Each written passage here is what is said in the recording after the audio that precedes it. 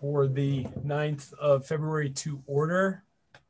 Begin with planning commission decisions for the 2nd of February 2021. Anybody have any questions or uh, see a need for a call up today?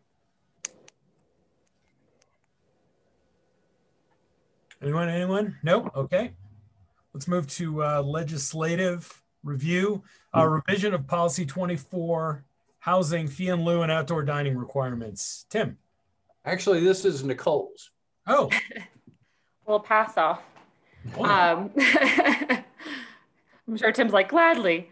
Um, so um, the memo in your packet um, addresses two revisions that we are um, looking to make in policy 24. Um, one revision being that we need to add a fee and lieu calculation into the policy, and the second removing um, any employee generation requirements related with related to outdoor di- additional outdoor dining space.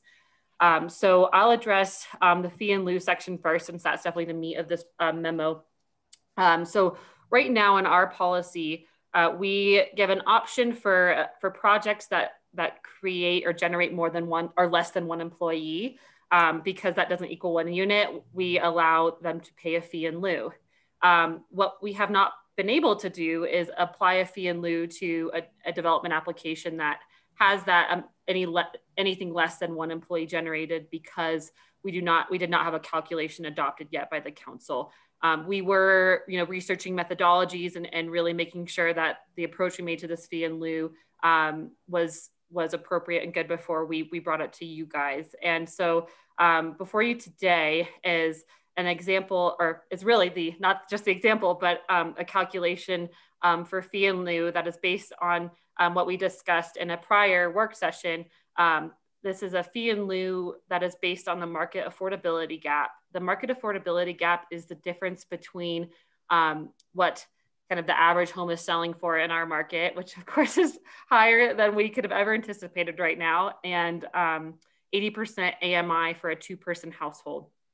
And so that gap um, is adjusted for the number of employees per household and um, is uh, basically divided. I won't go into all the details of the calculation, but is um, uh, adjusted to be um, a square footage amount um, to be assessed per square foot of, of new um, area that's developed. So the fee in lieu is uh, this methodology is used in a lot of communities, Vail, Aspen, um, uh, Durango, uh, communities like that. And uh, what's interesting is we looked at um, the cost of construction as well. And in all of these communities, even the ones that used cost of construction, they converted uh, to this market affordability gap because um, it is a much more, um, uh, I would say, reliable number, given that co cost of construction can vary and is based on you know how many projects are done in a year. So um, this is definitely the standard methodology that um, uh, most communities are using. And so this amount, this fee in lieu, would only apply to projects that generate less than one employee. Um, this is something that um, we should apply so that we can enforce this part of the policy. Um, having a number will will make us be able to do that, um, since right now we are currently not able to do that. Um, the other uh, part of this is the outdoor dining requirement that we had put into the policy 24 um, housing requirements. Um, the reason we feel that we should remove this um, kind of stems from a couple of things. One is that um, we haven't found any other communities that are looking at outdoor dining space um, and when they're calculating their employee generation.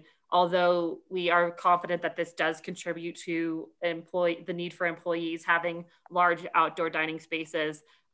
you know, our goal is that we would when we do an updated um, employee generation study, not just for outdoor dining, but for our entire code, um, that we would also look at outdoor dining space to make sure that this, if we do include outdoor dining space in the future, that the number is accurate. Um, and our goal as as COVID hit right when we were planning to do our study last year, um, our goal is to once things start to normalize a little bit, to definitely go out and and conduct that study. Um, so those are the two revisions to policy 24R that we're proposing today. And I'm available to answer any questions that you guys have. Thank you, Nicole. Uh, questions? Um, I have a general question um, just about AMI and how it's calculated and how often it's calculated. Mhm. I'm just wondering with the shift we're seeing where we have um, more new remote residents that are maybe making a higher income, how that's going to impact numbers calculation. That is a really good question. Um, there's kind of two two answers. This, this AMI number gets updated every year um, by the Department of Housing and Urban Development, and this number um, it kind of has a we call it like a backlag, which is kind of which is partly why we are trying to get rid of get not get rid of AMI, but not follow AMI when we do appreciation formulas and things like that, because it's usually like five years, kind of looking at five year data in the past. Um, so when you'd be in a really high point in terms of incomes that look like we're in a recession with AMI and vice versa, because they are looking at data from not necessarily right the year before, but um, maybe a few years before. Um, so I would anticipate that our incomes, because it's based off of family income in our community. Um, so if we have more families, more households here, then there will be more households to take AMI information from, income information from. So I would say that I would anticipate that it would likely increase, but that we may not see that like stark increase until you know a few years down the road.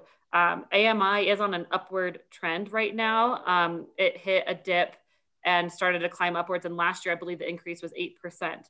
So it is on the uh, inclined part of this um, data trend, but it is updated every year. And our, and how this would be updated is that we would um, and uh, this number would be updated in the chart. So we'll, we would update the AMI number and we'd also update the median sales price for market rate units as those will, you know, likely that will likely increase too. So that number every year will be updated once new AMI numbers are established. So we'll go back in and, and um, reevaluate the data points to make sure that they're accurate. But yeah, AMI it does fluctuate and it could definitely be impacted by the um, the uh, change in our uh, who people who live and work here.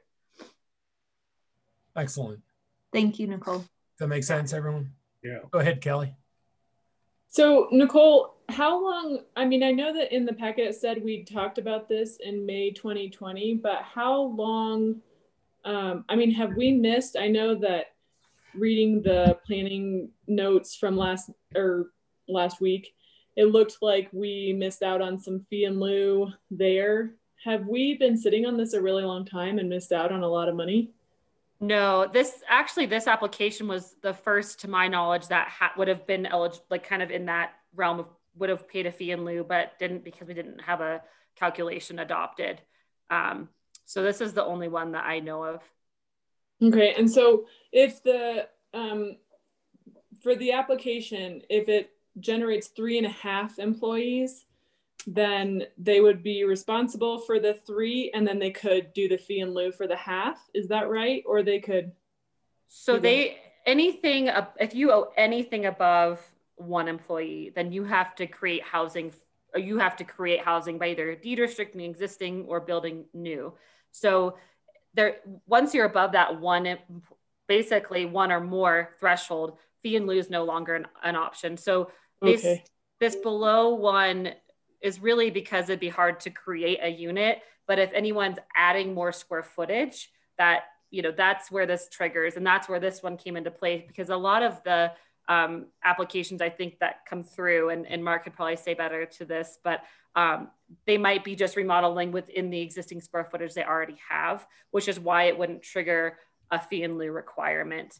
Um, so it's very, it's going to be a, a narrow kind of group that would would this would apply to, but it's really to you know still address that they're they are technically generating more impact and more need for housing, but not necessarily enough to build a whole new unit or go deed restrict a, a full unit.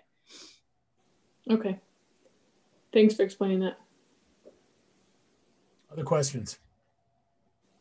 Hey, Eric, Yes, uh, well, one thing I, I talked to Tim Berry about this. I'd like to make a change after, uh, before second reading. Because we do have the calculation table in the actual ordinance, I want to make it clear that that's an example of, of the calculation for the 2021 fee in lieu and that that will adjust each year uh, as the AMI changes. So I want to make it clear that we do not, I don't, I do not want to have to come back and amend this every year when the AMI changes. So, um, Okay, yeah, that When- makes total When it comes time to make a motion, will someone make that a little bit clearer? We'll do it in between first and second, Jeffrey. Jeffrey, it's not, you don't need anything, any change tonight. All right, all right. It's for second reading. Yeah, because sometimes Aaron messes up when it, when we switch on the fly like that, and it's embarrassing for us all. Yeah, I, I'm the problem, clearly. Thanks. So are any, early in the meeting for this. are any applications gonna come in in the next month that we're gonna miss out on? No, Mark, I don't know if, I don't see Mark's camera on. I would say maybe that's a Mark question. Yeah, I I don't believe there are going to be, Kelly. Um, I think, I think we're gonna be okay. There might be one that gets through the door, but I'm not aware of anything right now. So we're getting, I mean, the sooner we adopt it, obviously, the sooner it can take effect. So there's, there's no need to do this as an emergency ordinance, correct? I wouldn't. Okay. All right, other questions? No, let's go to uh, the Pinewood, Pinewood One sale disposition, first reading. Laurie? Yes, good afternoon, Eric, Mayor, and Council. Um, This is a first reading for the ordinance that um, actually would um, authorize Rick to sign the purchase agreement, um, eh, purchase and sale agreement. We're on the seller side. Um, And this has to do with the sale of the, um, the Pinewood um, One property, the land that is under that property, and any, any interest that we had in the land lease, as you recall. Um, we own that property and we did this land lease way back in 1996 and Pinewood Village has um, served our locals um, with very well priced um, apartments for many years. And we believe that this agreement um, will ensure that it continues to serve our locals um, because we're basically out of our proceeds, we are paying for a deed restriction that will run in perpetuity with the land um, that will equal the deed restriction that's on it under the current land lease. So um, we support um, uh, the purchase and sale agreement. Um, Tim still needs to go through it with a fine tooth comb um, and check some of the um, uh, aspects of the um, purchase and sale agreement, but we expect it's going to be consistent with the letter of intent that you already executed. Everybody good with this? You understand what's going on here? Okay, thank you, Laurie. Yeah, thank you. Uh, now we have uh, four ordinances uh, authorizing negotiations and if necessary, eminent domain proceeding to acquire property interests necessary as part of the Goose Pasture Tarn Dam Rehabilitation Project. We have Thomas Three Peaks LLC, Rolfs, and Belinda Gale Kramer Revocable Trust. Tim, This, th- these are me, Eric. Uh, As the council's aware, we have, we're about to commence work on the uh, Goose Pasture Tarn project this spring. We need certain easements, primarily temporary easements, uh, to be able to do the project. We have been negotiating uh, with these property owners for some time now, and I'm pleased to say that since the packet was assembled last week, we have resolved two of the four issues. Um, that is uh, the Three Peaks LLC, which is Mr. Bradley's LLC, and Mr. and Mrs. Rolfe. We have both of those signed deals done. So those two ordinances will need to be removed okay, tonight.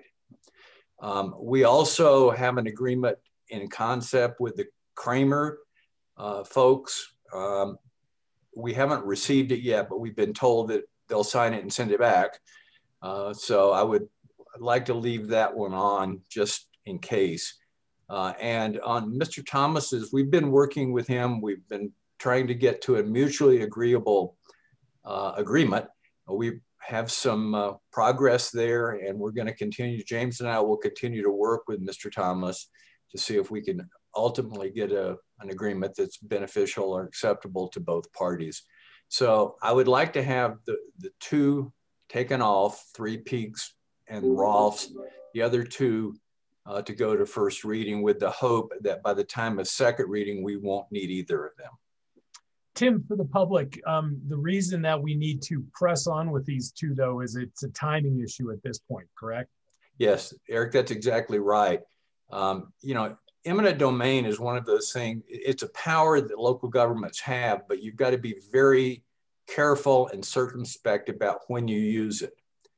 Um, it's a very heavy handed sort of power, the ability to take somebody's property for a public purpose but that power is there nonetheless. Um, and the process of, of getting, going, starting eminent domain still takes several months. Um, and that's why we're here, you know, in early February for a, an April or May start date. If we were unsuccessful in negotiating with any of the three or any of the property owners, we would have to go to court and there are some procedures that are required for that, and it's going to take a little bit of time. Um, like I say, I don't think that we're going to have to file. At least I'm very hopeful that we won't have to file. But you know, we can't delay the commencement of this project because of these easements. We need to get it done.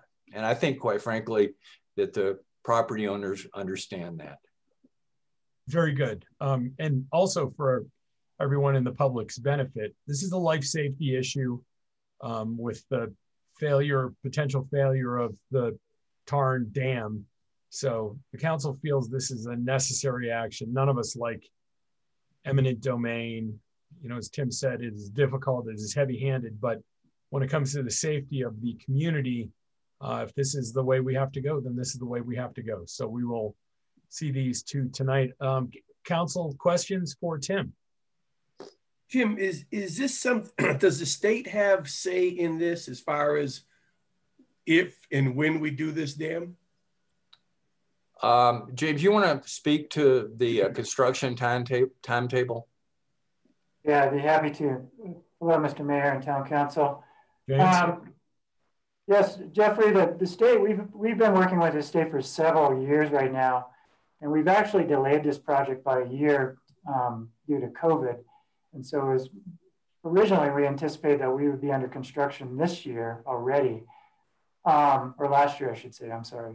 But um, that being said, the state is giving us a directive that we do need to, to repair this dam.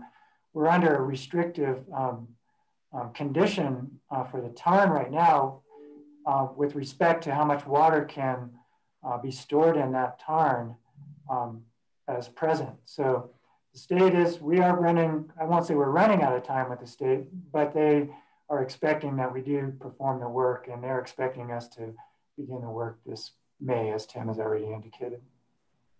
What, in, in layman's terms, what, um, what would happen if the dam were to fail? I know the dam was built in the 60s or something. Yeah, the, the dam was built in 1965. It was constructed um, 1965. Um, originally, it wasn't uh, constructed for kind of the intended purpose that it, it, provides today.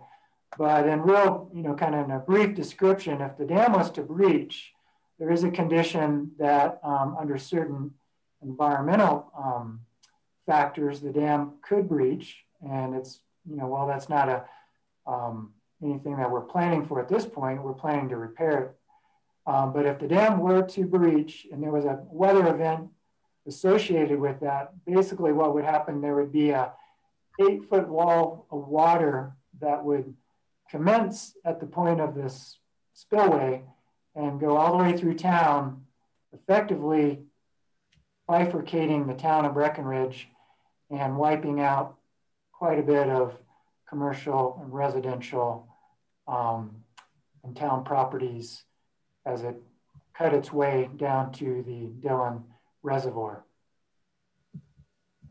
So we wouldn't want that to happen.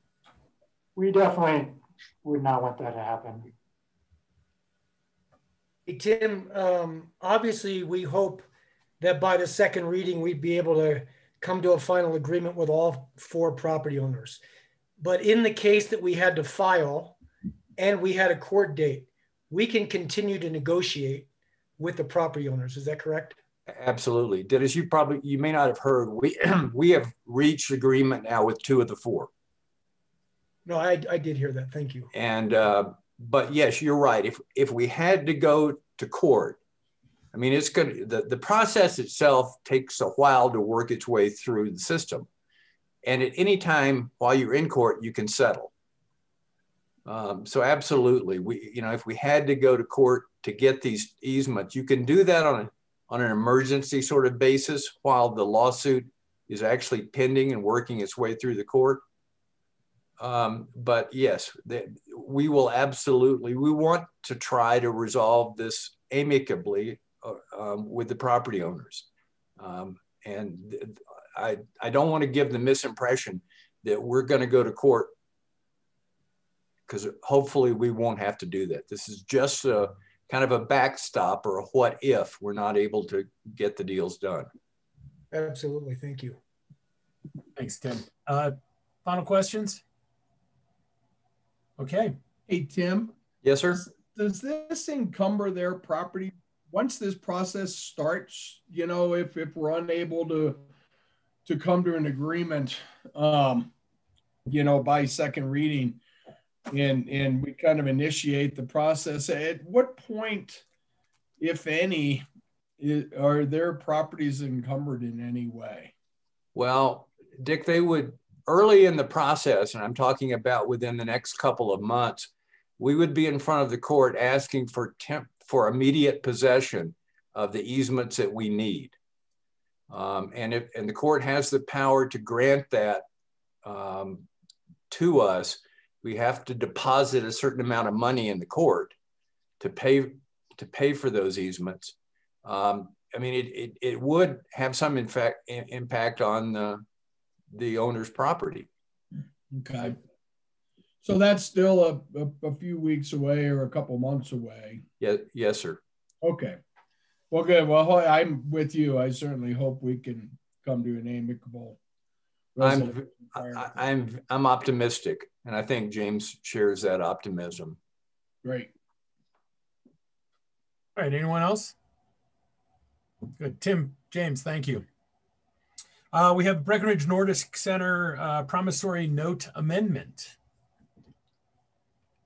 Hello, everybody.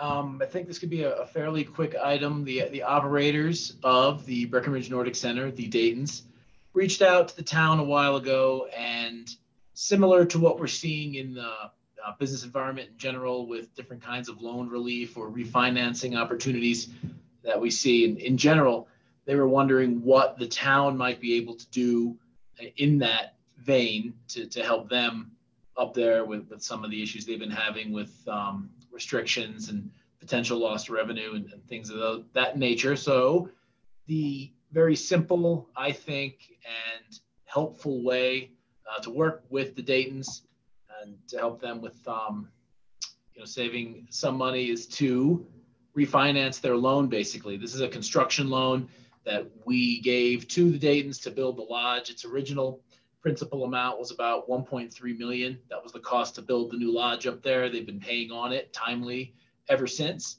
And what we're proposing is this resolution that would approve a change in the interest rate from four to three percent, and that would save them about 626 bucks a month, going all the way through the end of the loan, which is in 2044, and that adds up to uh, over 170 thousand dollars.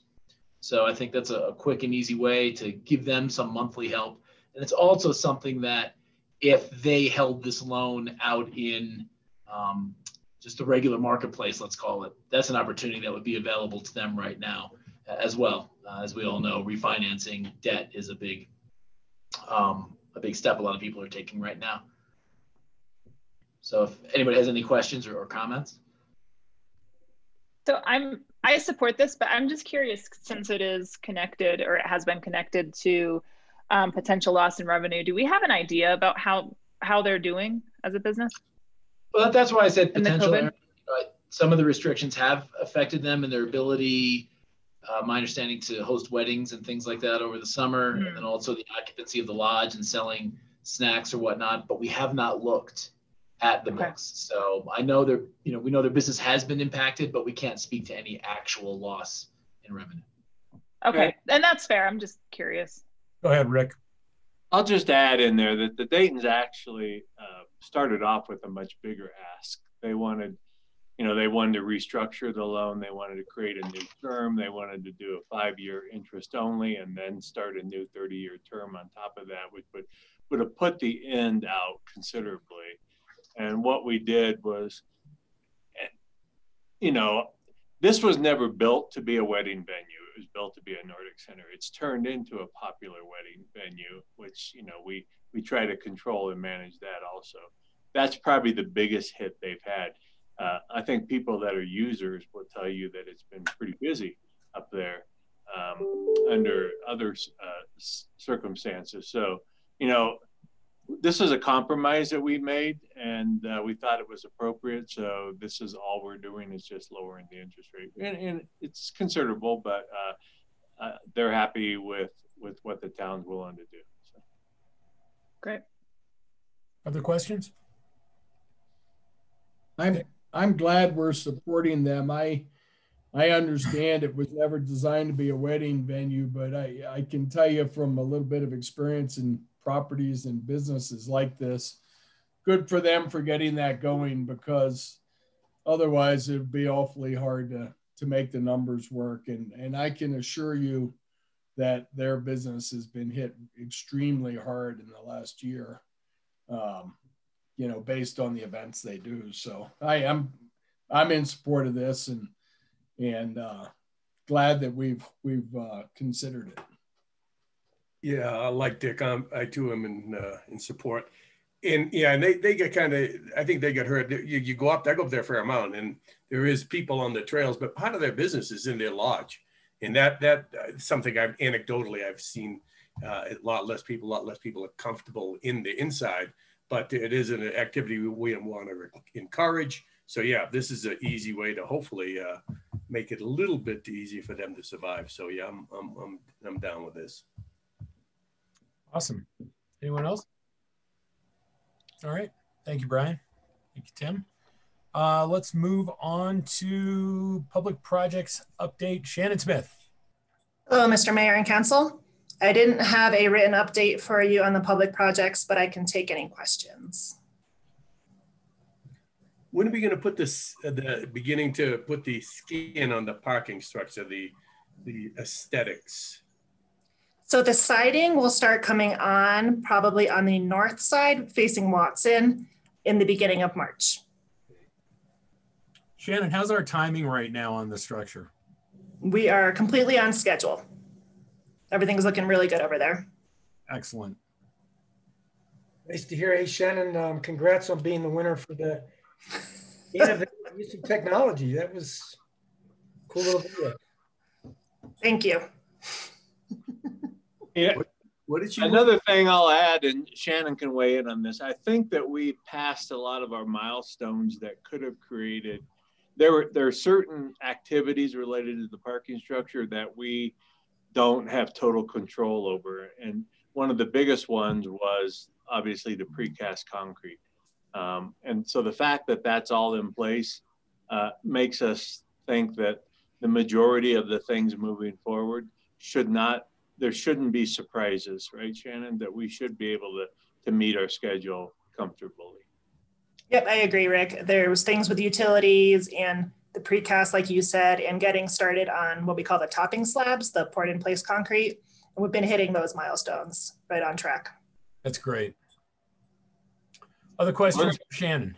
Yeah, we're still going to get you guys on a tour, but we may look at like you know, springtime when we know the weather's a little nicer and there'll be a little more completion out there. So that sounds good. Yeah. I'd like to get out there when it's really windy and really cold. We do that. That's what we figured. It's warm on the inside. Good, good. How's uh any more questions for Shannon? All right. Um, in light of what happened in Florida with their water system, I asked James to update us on uh, what we're doing to protect our water system.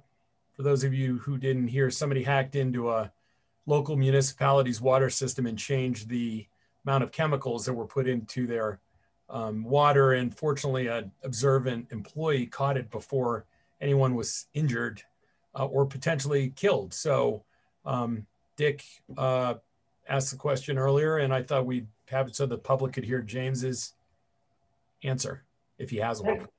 Yeah, yeah, thank you, Eric. Um, I guess what I would, you know, I just recently read that article. I read it last night, and it was just as you indicated, somebody hacked into their system and they changed the dosage of uh, chemical that we don't use here with sodium hydroxide. And that chemical is used to raise the pH in water. Um, one of the one of the things that I can say for our system is, is that we don't add anything, anything certainly as nasty as sodium hydroxide to our water. The only thing that we really add to our water, um, excepting a little bit of fluoride, is chlorine. And chlorine is a disinfectant um, that we use to, to disinfect the water, of course. Um, what I can say about our security is, is that we worked, water division worked with our IT division this summer and we implemented a kind of a new, more robust system for gaining access to our, our water system. So the protocol right now, what it requires is multiple passwords for our operators to gain access to the system. And then it also in turn um, asks for a, a text that provides a code that the operator then in turn has to enter the code to be able to gain access into the system. So um, while I, I won't say it's impossible, but I'd say it'd be very unlikely anybody could gain access into our SCADA system. Our, of the three water plants that we have, two of them, the Gary Roberts water treatment plant and the Wellington Oro water plant, they are not even connected to the internet.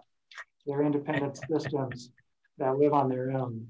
Um, our newest water plant, of course, the Breck North water plant, is connected to our town service um, currently, but it undergoes that same process that I just explained for gaining access to the system.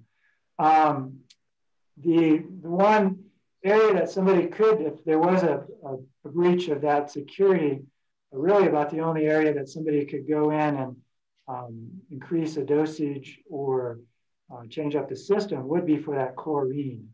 And with our new system, we embedded multiple alarms within the software that would shut down the system. So it'd make it virtually impossible for someone to actually change that dose rate without there being multiple alarms going off and ultimately shutting the system down. Um, so I guess in short, and hopefully this answers the question, it would be really not very feasible for somebody to enter in the system. Um, I also know that you know the, the investigation and the report hasn't really uh, been concluded for that um, breach down in Florida, but um, I won't be surprised. I mean, if there was some breach of our system, it would probably be just as likely it was an inside job of some sort uh, for that to take place. So again, I'm not making any um, comment to what's going on in Florida, but I think that would be, um, that's a possibility certainly. In our case, if we did have separation of any employees or anything, we change all those the protocols and the codes for access into the system. So hopefully that answered the question and I'd be happy to take any follow-up questions if there are any. Great, thanks James. Questions for James? Hmm. All right, thanks for giving us that information and so it's out in the public too. Thank you. Uh, any other public projects uh, for anybody? All right, how about parking and transportation? That was, we did that. Um, housing and childcare update. Hello, Corey Burr. Hello, Eric. How are you? Good. Good afternoon, Mayor and Council. Uh, you have minutes in the um, packet for both our December meeting and our most recent February meeting. The committee did not hold a January meeting.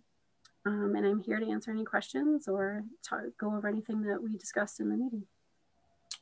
Okay, question on the meetings. Um, I was just curious why um, why we're receiving December's now. Um, good question. um, I didn't realize that it had never been sent, so I included it on this one. Okay. So it was completely Okay. just an error in making sure that you saw it. Human error. Okay. She's been busy getting rent Thanks. checks out to people. And I wasn't trying to call you call anybody out or any. I just wasn't sure if there was something that needed to be decided or if there was something that came in late or yeah. But You can call thank me you. out. It was me. I held it. Uh, we've been piling a bunch of stuff on Corey's shoulders, so I think a lapse in minute meetings is fine. Yeah, absolutely. No, I, I appreciate it. Thank you.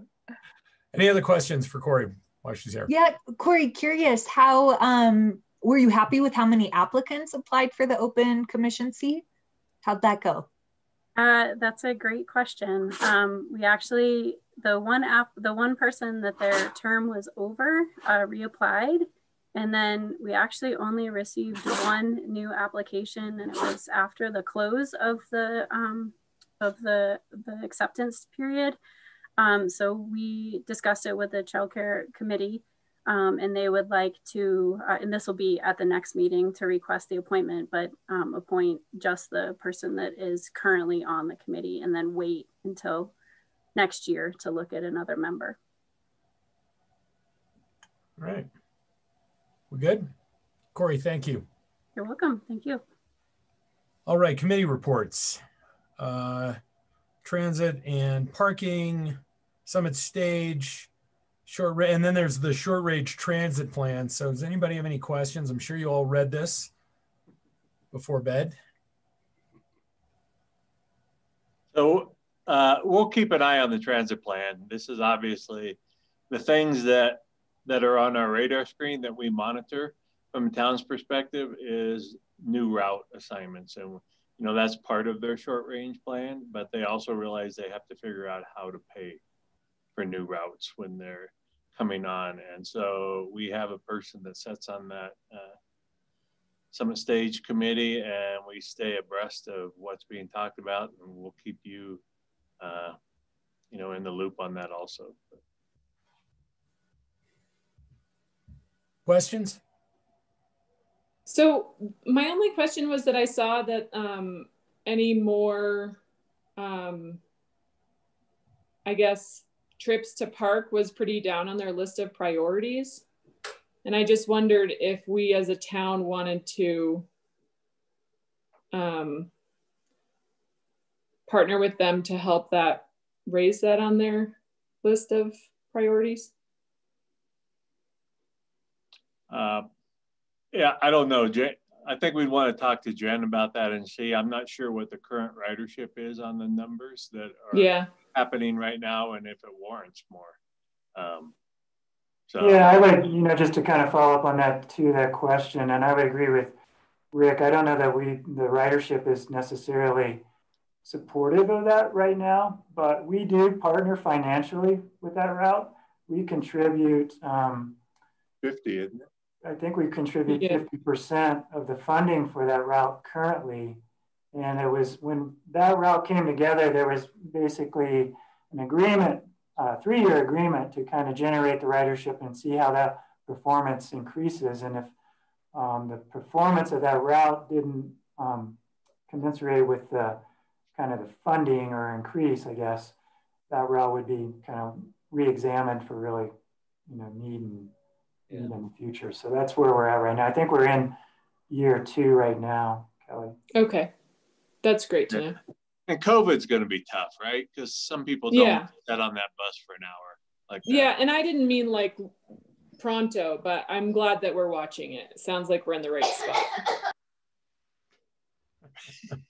Hey, James, what do you have any figures on how many people have been getting left at bus stops due to COVID? I did.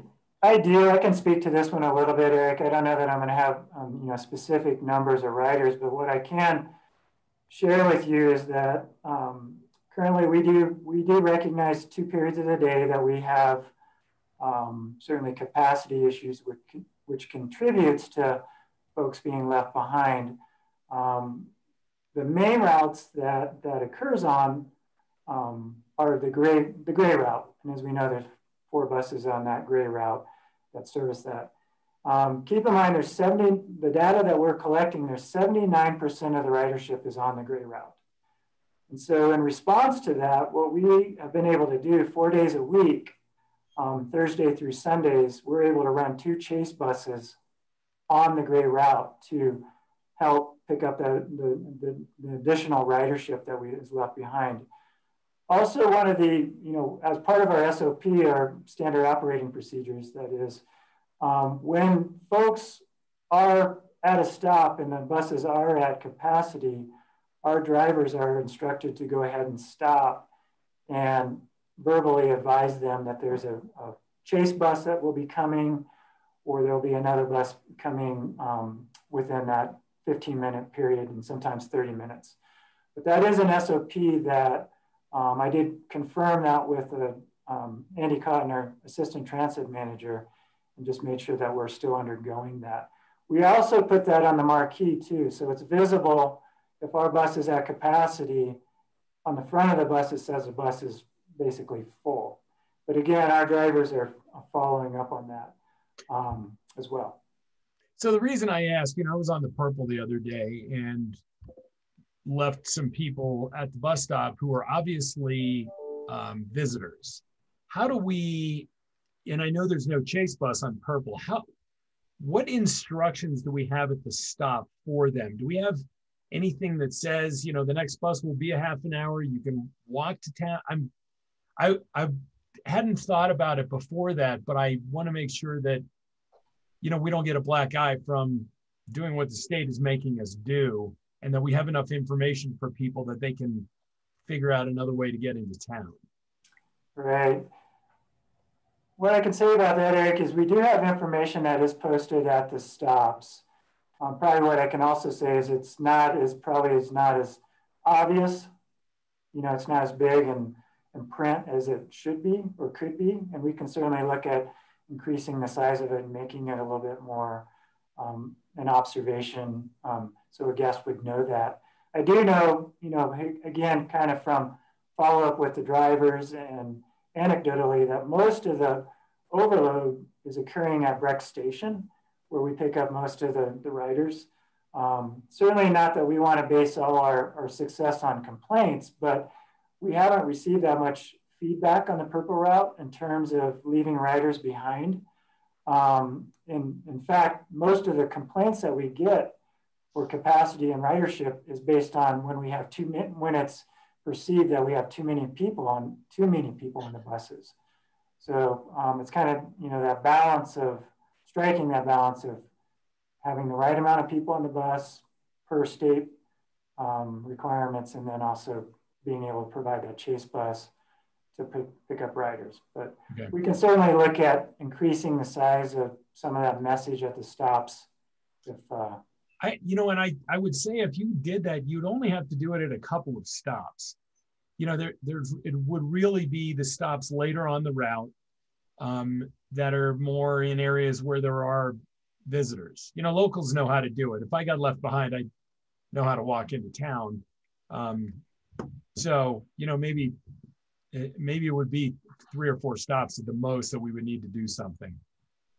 Yeah, I believe I believe you're correct, Eric. I can touch base with transit and again, okay. our drivers. Every time there's a guest that's left behind at a stop, they immediately the SOP is to radio a supervisor, and okay. we try to roll a bus to go ahead if there's not a chase bus on route already to, to pick up those passengers. And again, in talking with um, the assistant manager, his belief is is that we not only is our goal to get everybody within 30 minutes, but we feel like we are pretty close to being able to achieve that and say that straight right. face.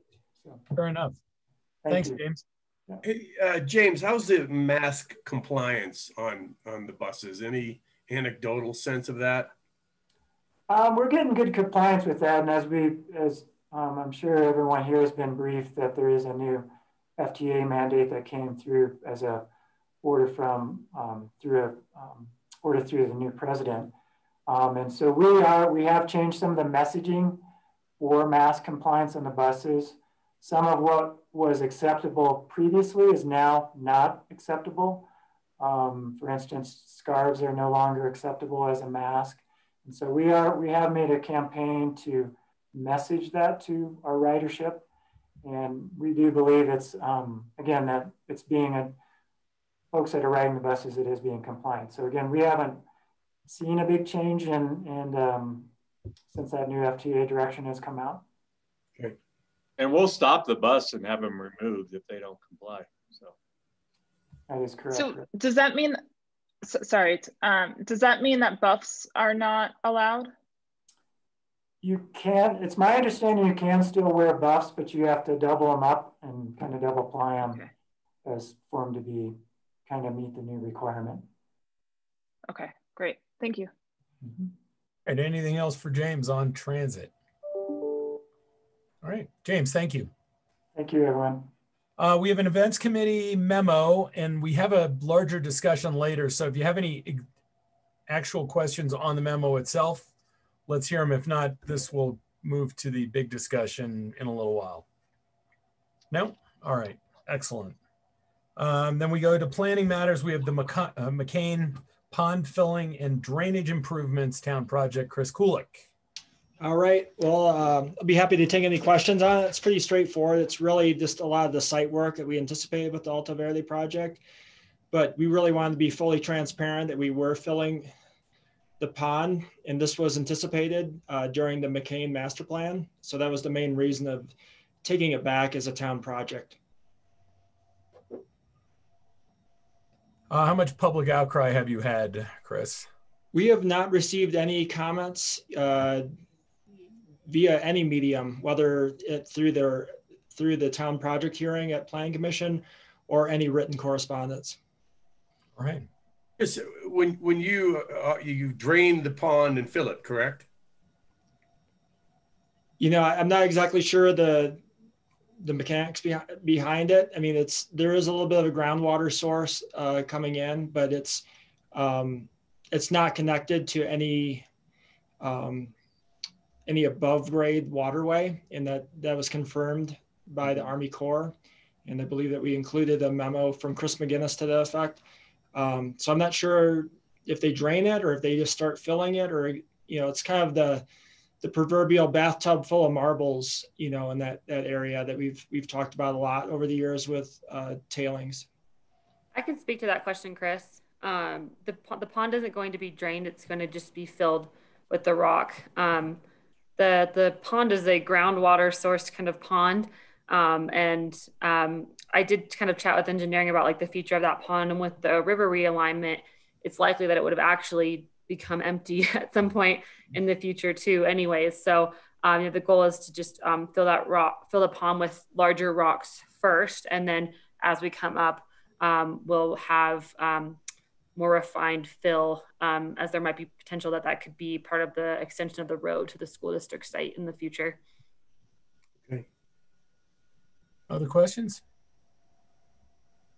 all right thanks chris thank you see you tonight thanks nicole uh, we have small cell update. This is a TC memo. Julia? Thank you, uh, Mayor and Town Council. Um, I just wanted to come before you. Um, we have not given you an update on our small cell project in quite a while. Um, and as you know, the FCC uh, several years ago passed um, some regulations to allow 5G technology in municipal rights of way um, and it removed a lot of the government authority um, behind the review for those. Um, we went through a quick process on um, RFI and we selected American Tower and Newcom. Um, council gave us the go ahead to move forward with that. And that is for um, a more cohesive approach to small cells in our right of way, especially in our conservation district and um, also had a layer of macro sites over it as well, sort of like creating a web of connectivity um, to provide reliable cell phone service while being aesthetically pleasing um, within our conservation district. So we've had a few things happen since um, we were before you last.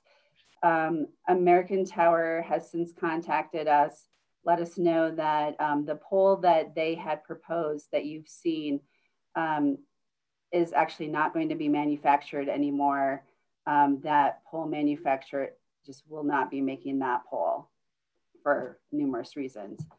The second update that came shortly after that was that American Tower um, was under some new leadership um, at their top level. And the direction from that um, person was that they're going to pull out of the small cell industry for now and focus on what they see as their strength, which were larger tower sites.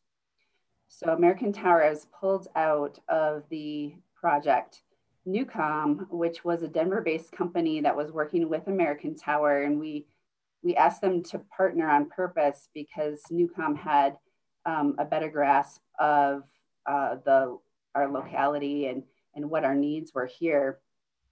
They've requested to go ahead and continue um, without American Tower, and staff had we have an internal committee made up of Shannon Haynes, uh, Mark Johnston, Chris Liberto, and um, Tim Berry has sat on some of these as well, and myself. And um, we're recommending that we go forward with Newcom.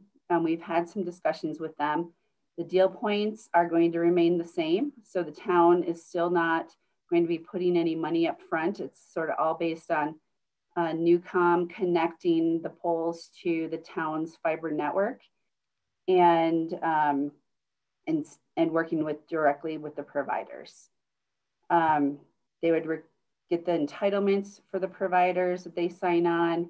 And um, you know we'd be looking at a co-location pole system. And that's that's sort of key of what we wanted. The first phase just so you all know um, consisted of, consists of six poles at three intersections on Main Street.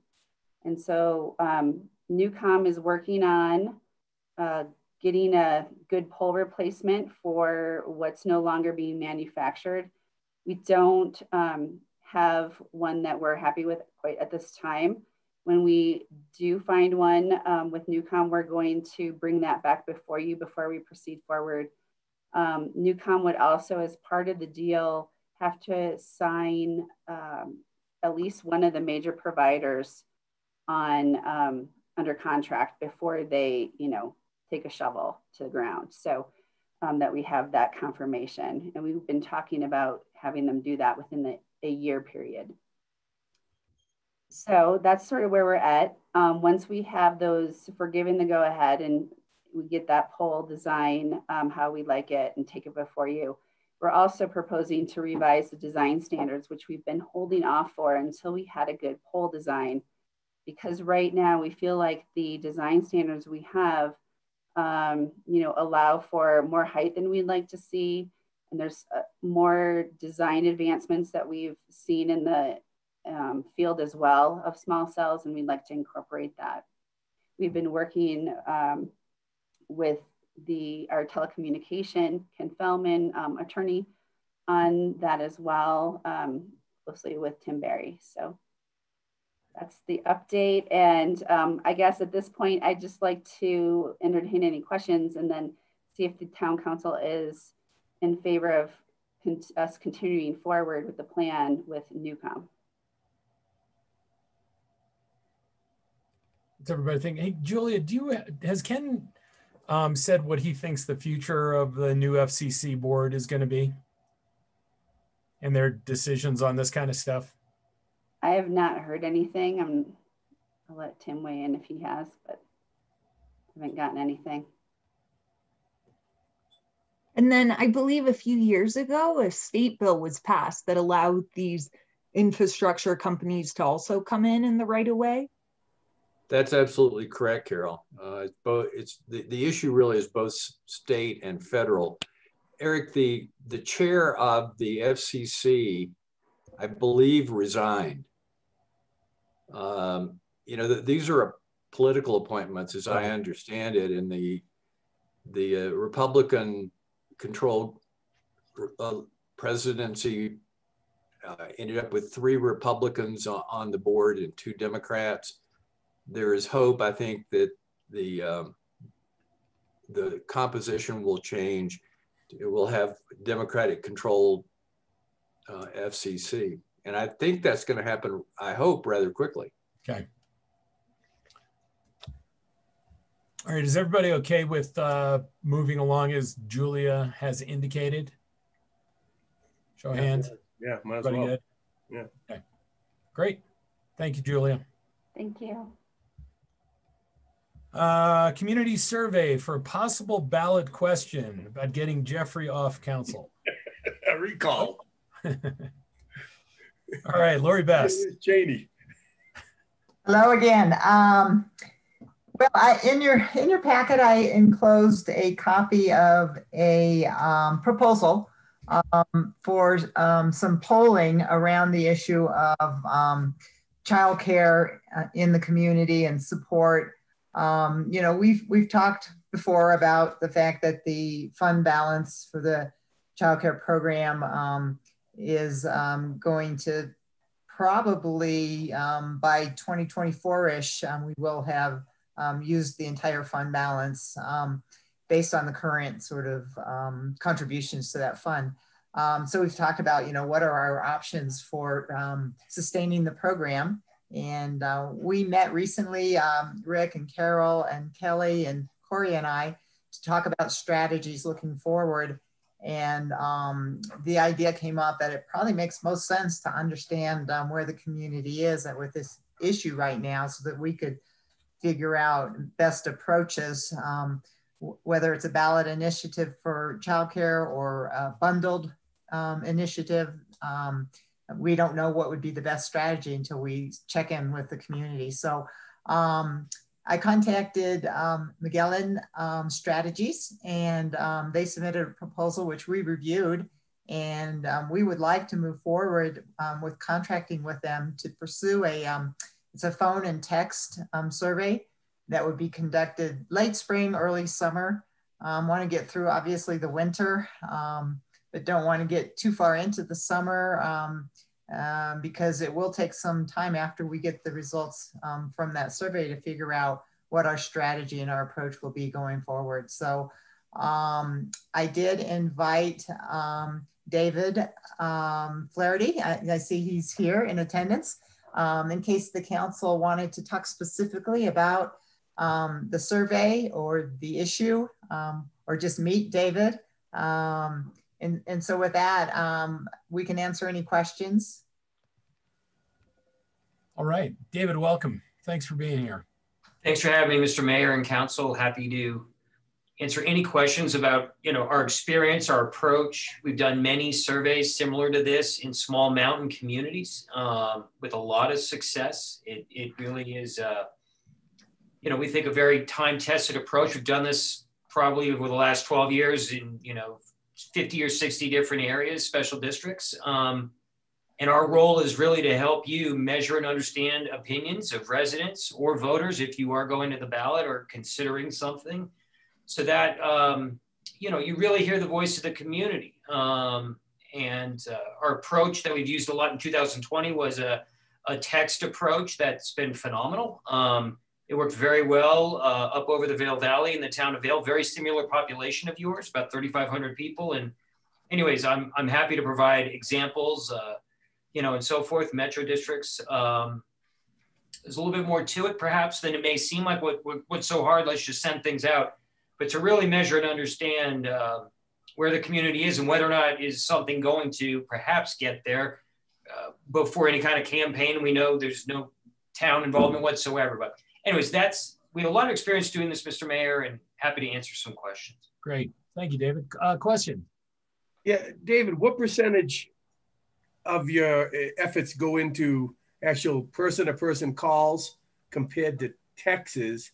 I mean, I know personally, I have my phone; it won't ring unless it's a number that's in my contacts. Sure.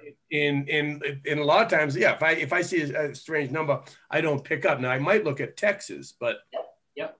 No, absolutely. And, and what we'll do, Jeffrey, is we first we do it in waves. The first wave is to do a text survey, and in that text, there's an image, and it'll have the town of Breckenridge, and it's going to say, "Hi, we really want to listen and learn from you. There's some important issues we'd like to hear uh, you know hear from you about." Um, we'll have a contact person for you know communications, whoever, and say that we're, we're here to listen and learn when they click on that on their text, it takes them and they will take it right on their phone. Um, we have several examples in our proposals of what that will look like.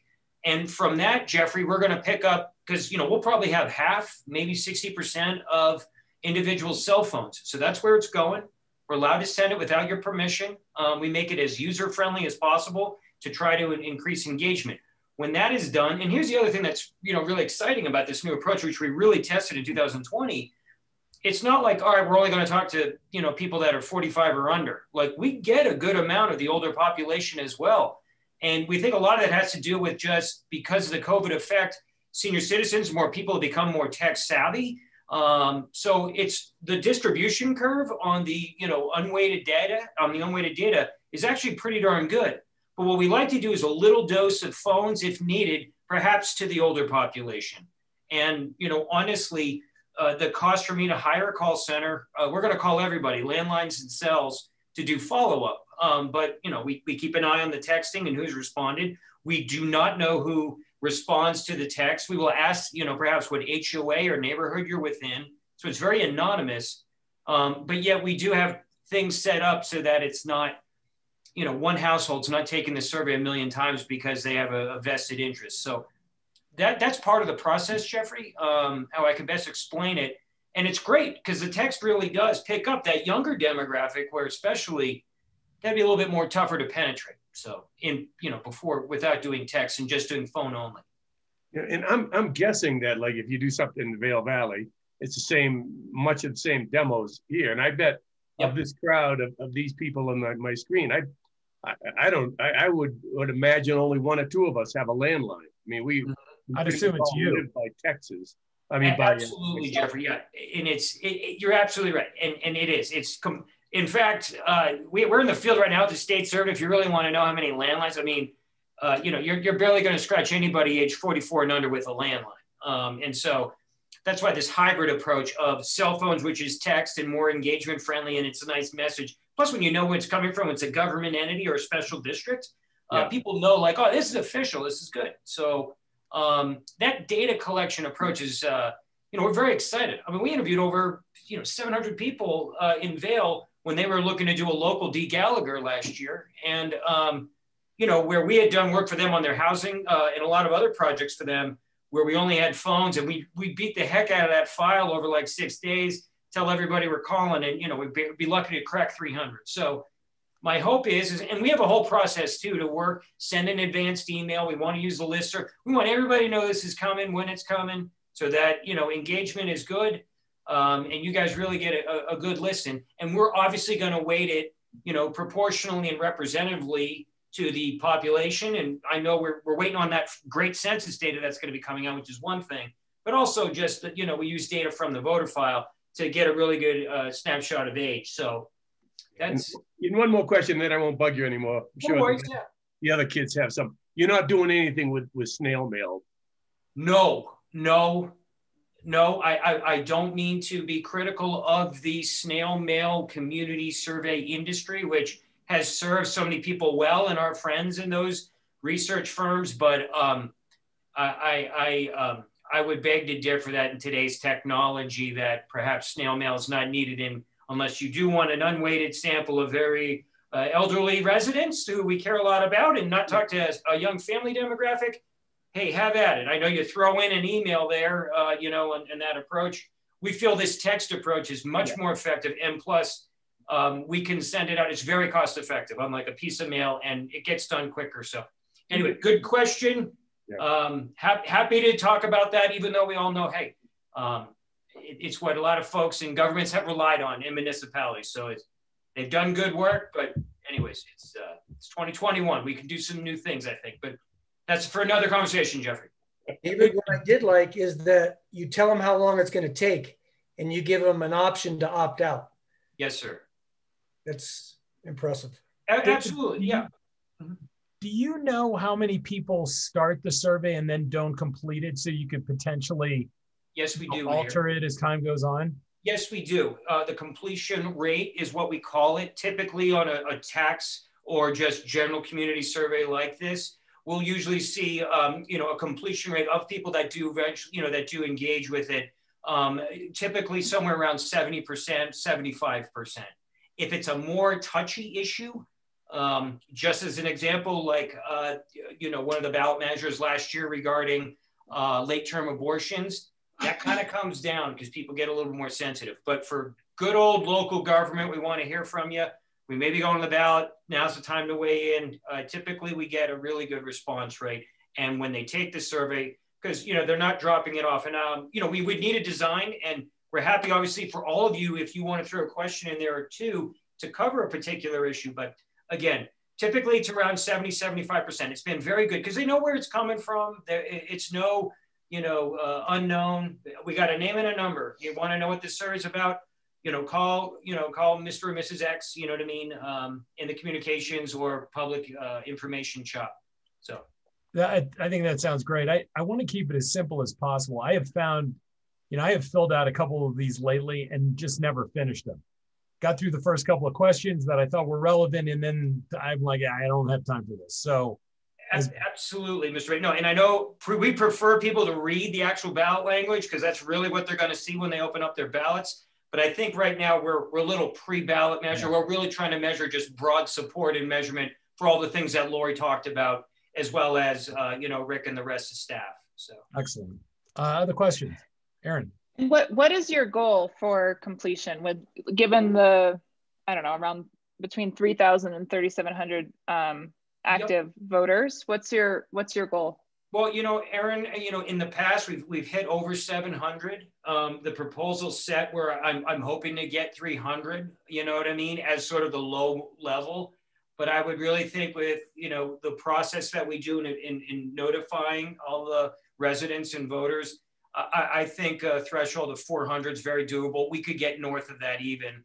Um, you know, especially if you have advocates for, you know, the things that Laurie leads and works on, as well as in your community, the more people that know that this is coming. But like I said, over in Vail, you know, uh, you know, 700 is, is pretty darn good for a population very similar to yours of roughly 35, 3,700 voters. So. Okay, thank you. Yeah. Other questions for David or Lori? I have one question for Laurie. Laurie, what is a realistic number? Say we wanted to get this thing um, passed. What's a realistic number that would be voting on something like this? Where where would we where would we put this? In what ballot? Uh, would, would it be like a town council election? Would it be in November or April? Or what? How would we do this? You know, I, I think it's it's up to council to decide. I mean, we've been um, in, in our minds, we've been targeting a local election in 2022. I think that's what we talked about last time we talked. April.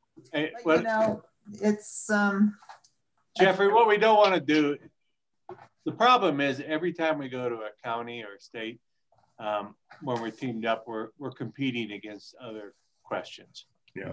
And uh, that's what happened last time. And I think I think we have much this is a very much a local issue, and I think we have. I think our goal should be that we are, we are our timeline and everything we're doing moving forward is the is working towards the April 2022 uh, question ballot, and that's what we should be working towards. Okay. And with that, I think this is a great just first step, understanding where the community is on the issue, getting those results and deciding how we go forward based on that data. And I think it's important that you guys understand like um, that the child care committee and staff definitely realize that this isn't um, the only work that we're going to have to do to do to get this passed. What we're really hopeful for is that this survey would be a good platform for us. It would be a good reason for us people to reach out to us and ask like what's going on, what is the survey about childcare?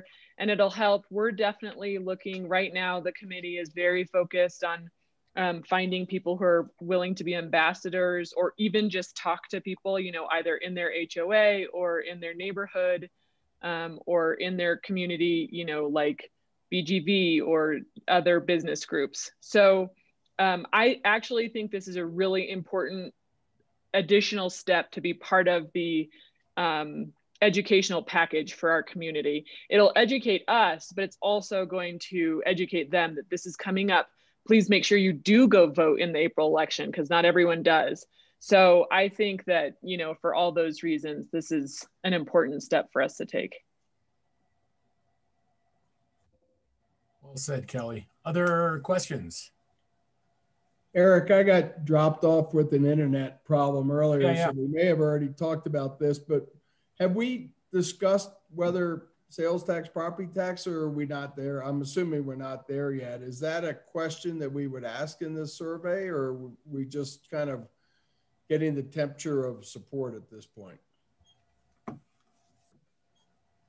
No, I think the more that we can hear from the community about the different options, that will help us um, figure out what approach is going to work best. Um, so I definitely think it's something that we'll know more um, after we get the survey results. Okay, and I should say sales, property, or Yeah. short-term rental. Yeah, can I add just, yeah, absolutely, Dick. We typically will ask that, you know, for sort of this sort of benchmark survey. Just typically people prefer sales to the property tax. If you have other revenue streams that you can, um, you know, perhaps look to reallocate to a dedicated source, you know, we understand there's a business community, we understand a lot of those things, um, but typically, um, you know, sales tax is, is more palatable typically because they know out of town guests and visitors will pay a lot of that and won't directly hit them. But again, uh, we can, you know, test that generically. But I would just recommend you don't ever want to go in with a survey and you're literally talking about rates, you know what I mean, and fishing around because the community typically let it, it sends it can send a signal that it's like they don't really know how much money they need for X and they're just fishing around to see what'll work. And you just you can have some, you know, pushback on that just from prior thing projects that we've worked on. So um, we can definitely test that generically and any other funding uh, possibility or allocations in there. Um, so just wanted to add that. Excellent. Other questions? Uh, can we, Laurie, see sort of the questions before they go out? Yes. Um, I think probably after we get David under contract, one of the first things we'll start doing is working on sort of what are the questions? Um, how many questions do we need to include and what do we want to really get to? So yeah, we'll be working on that the, the next few weeks or so. Um, Yeah. and get that back to you before anything will go live for sure and get your comments on it. Excellent. Yeah, Mr. Mayor, we're gonna have multiple versions. I mean, again, not to speak for staff, but there's draft A, there's draft B, there's draft C. We want all input and uh, we also want to educate and inform respondents, especially about some of these issues that they're not aware of. So believe me, uh, we would never go into the field without, you know, we're like, here you go. Let me know by Yeah. Friday, two o'clock. And by the way, it's, you know, six o'clock on Thursday. So, you know, it's, We're gonna have to make sure we're all educated enough too, because we'll be getting calls, I'm assuming, about the survey and, you know, explain this to me before I fill it out kind of thing. So, yep, we're going to help with that as much as we can. excellent. All right. Uh, anyone And else? Laurie, Go ahead. Laurie and Corey are already creating sort of a fact sheet or a speaking, you know, speaking points. And so we'll make sure that we share that with everybody on here and we can keep adding to it as people, you know, get certain questions over and over. Great. Thank you, Kelly. Speaking points. All right. Good enough? All right. Thank you, Laurie. David, thanks for joining us Thank tonight. you. Appreciate it. Absolutely. Good to see you all. You guys have a good evening. You too. Okay, we have uh, events discussion, but I am going to talk about one other thing first. Yeah, Rick? Rick, Do we have a go ahead from everybody to move forward with the contract? Oh, yeah. Everybody contract with Magellan? All right. All right. Very good. That's Laurie voted. Laurie voted. Lord, um, you know what? She's the most important vote on here. So, I love it. hey, um, one, one thing, so I want to make sure that the people that want to be on for the events get on, and we don't have that scheduled for, you know, another 20 minutes or so. Um, We could do a couple other matters too. Yeah, I just I wanted to talk to the council about one thing if you're amenable to it. Um, we ended up having a better 2020 than we had doom doom said that we would. If you recall, we haven't given anybody a pay increase that works for the town. How would you guys feel about allowing Rick to Rick and Shannon to sort of take a look at what we could possibly do um, to, you know, we know that Summit County and some of the other towns have done pay increase uh, increases during this time. I don't want us to fall behind. So if you guys just give Rick the thumbs up, we can have him come back to us with an idea of what what he thinks we should do, so we can, you know, face it. Our employees have kicked ass during COVID, and uh, we don't want to lose them, and we want to make sure they know that we value what they do. So, how's everybody feel about letting Rick take a stab at that? Absolutely. Yeah.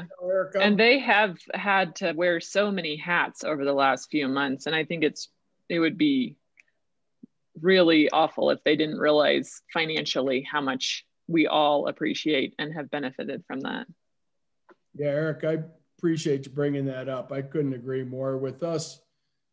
You know, not not rehiring or, or resisting rehiring. We've, like Kelly said, we've really pushed them hard and added new things. And I mean, I can speak for the five star. I mean, the way everyone stepped up and worked over a weekend, it's just the staff's been phenomenal. So I, I I'm in full support of taking a look at that and bringing it back to us. Absolutely in agreement. Okay, Rick. Yeah, I, I really appreciate that a lot. I think it's one of the things we know in this competitive market that we're in here on um, is that you know if we fall behind in these things, we just have to pay down the road later to catch up. And you know we have to be doing these market surveys every couple of years to make sure that we're we're staying in that. And so when you when you when you lose a year, uh, you know three or four percent, then it, it puts people behind. So I think uh, to the extent that we can do that, I think it's a, it's the right thing to do, and I think it just helps protect us because we're already like everybody else out there. We're challenged. You know, we couldn't run the routes we wanted to run this year, and uh, and some other things. So, and we're struggling trying to get staff back in, even with rec right now, just so that we can get get open on Saturdays and get the pool open. Um, some of these people that have been furloughed and not around, you know, are not there to come back. So um, it's the same thing we're seeing all over. But this is a step in the right direction. I think it's uh, I think it's great, and I appreciate it. So we'll bring something back either at the next meeting or the first meeting in March to you. Because um, we're in that 12 month period where nobody is getting increases, and we'd like to get that done before May. That's the end of that 12 month cycle that nobody has gotten any increase. So. Okay, great. Thank you, Rick, and thank you, Council. Uh, can we take a quick five minute break? before events, Rick? You good with that? Uh, oh yeah, of course. You bet. Okay. Quickie. See you guys back. Hi, bud. It's frozen on my screen, Rick, and I can't. I'll, I'll get to it before I leave tonight, though. All right. Uh, we are one, two, three, four, five, six. Who are we missing? Nobody. Oh, I got to count myself. We're not missing anybody. All right. Rough day. Uh, let's get to our events discussion. Are we uh, inviting Todd and Lucian? Hi, Todd. What did you use? Used, uh... Hi, Lucy. Hello. All right. Uh, who's Shannon? Are you going to kick this one off? All right, yep. have at it. Um, so I guess I will start by saying that originally um, council had asked for Lucy and Todd to come and have a, a conversation around uh, like events philosophy. Um, so that was our original plan uh, up until early last week when after some thought and conversation with the events committee, we really decided that before we could have that kind of comprehensive discussion with you, we needed additional data.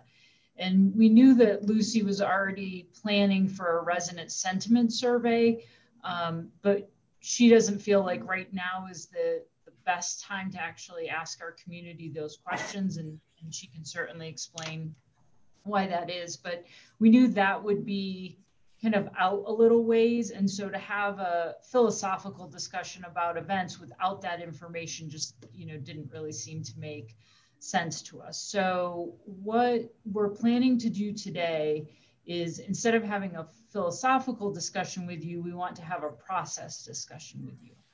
And our intent is to have that conversation with you today to talk about what kind of data and information you would like to see, that would help inform your decisions and your um, kind of recommendations on how we move forward. And then also just to talk a little bit about timeline. Um, I did in the memo kind of give you a little bit of information on what we've been looking at so far, but hopefully it's just enough to kind of start your gears turning on, on what you'd like to see for that more in-depth discussion. And uh, our intent for that is to come back to you with a, like a special work session agenda that might be a couple hours long where we really dive into data and information that we have and then have that um, you know much more robust philosophical conversation so that's kind of our intent for today and i'd like to kick it to lucy she's just kind of give you kind of a, an overview history of the strategy and of events um, up till now great thanks shannon um, I'll be brief. Um, we started the Breckenridge Events Committee back when um, Dick Carleton was on our board. And it was Dick's idea actually to start a community-wide um, group of event producers, mainly to get ourselves organized. What are we doing? Why are we doing it? When are we doing it? Um, so that that's the genesis of the Breckenridge Events Committee. Um, we we ended up using the, the strategies that the BTO had in place for why we do events. Um, and, and our strategies were adopted by the BEC. Um, three, strat three core um, strategies. First one is branding, media. Um, events that would fall under that category are things like snow sculpture event, Ullr, Dew Tour, pro challenge, the big ones we do primarily to generate media or um, brand positioning. The second strategy is building business. These are events that are built primarily during need periods or what used to be need periods. Um, examples there are a lot of the ones that happen in the fall, like Oktoberfest, the Wine Classic, Film Fest.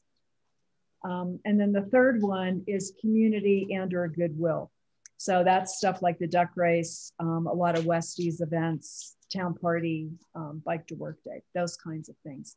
So when we produce events, we, um, most events check all three boxes at some level, but you hear us talk about our matrix. In the matrix, we run all the events down a column and then we go across and we check what's the primary reason we did this thing and then we evaluate against that. So something like snow sculpture, we'll we'll evaluate what was the amount of media we got. Sure, there's probably some extra sales tax. Sure, there's some community goodwill, but we really did it for media. So we try to stay pretty disciplined with that across all of our events. And different producers evaluate a little um, some more thoroughly than others, but, but that's the basic um, crux. Those three um, strategies are uh, virtually every event fits under one of those three. Questions or comments on that part? I know, Dick, if you want to throw something else in, it was it was your idea back in the day.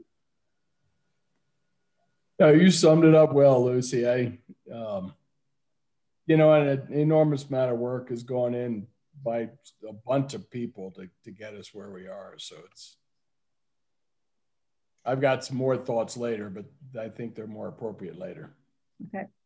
Thanks, Dick. Jen? Okay, um, so I think what we would like, and we're happy to answer any questions um, that you might have, but we'd love to hear your feedback on what would be helpful to you in the upcoming conversation.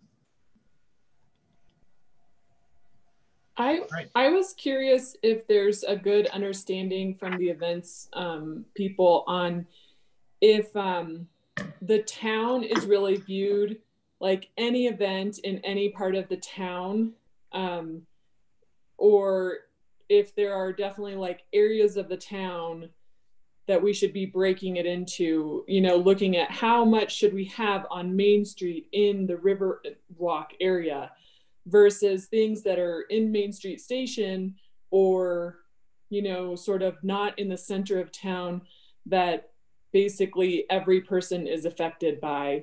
I just don't have, I, you know, in reading all the comments that we've gotten over the past um, week or several weeks, and then also reading the you know the different wine fests and things it seems like there's so much going on in main street station but i don't think we received a single comment about any of those. And so i feel for me there's a disconnect as far as knowledge of are things that are happening in main street station affecting or you know positively or negatively viewed by our community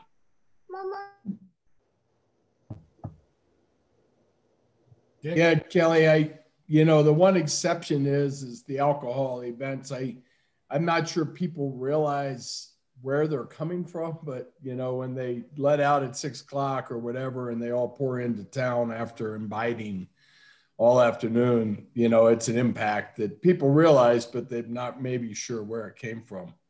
Um, Shannon, to your question, what else do we need?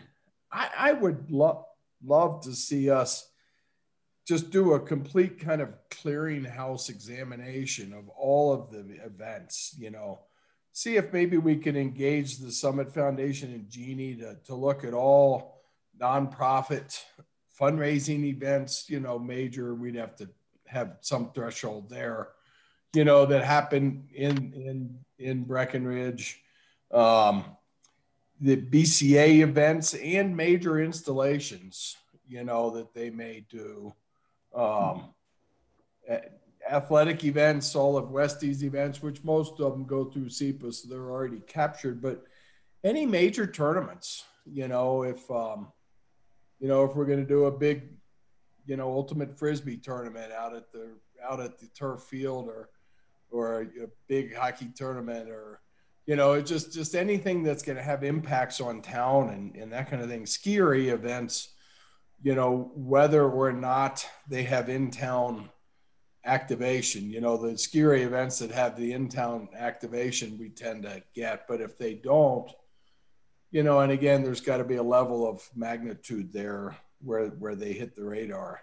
Um, but we're getting a lot of those, but I don't know that we're getting all of those. So, you know, it would be great to to get that data to really look at it and and then to take it a little further and, and look at the systems that we're using you know lucy touched on it the events committee you know we, we really charged ourselves with the need to to organize the events and and um, you know and and, and to to I to, to vet them based on the criteria at the time and um, everything else. But you know, I, I kind of look at the events committee. It, it's it's really functioning well. We've got an incredible group of events people on it and driving it.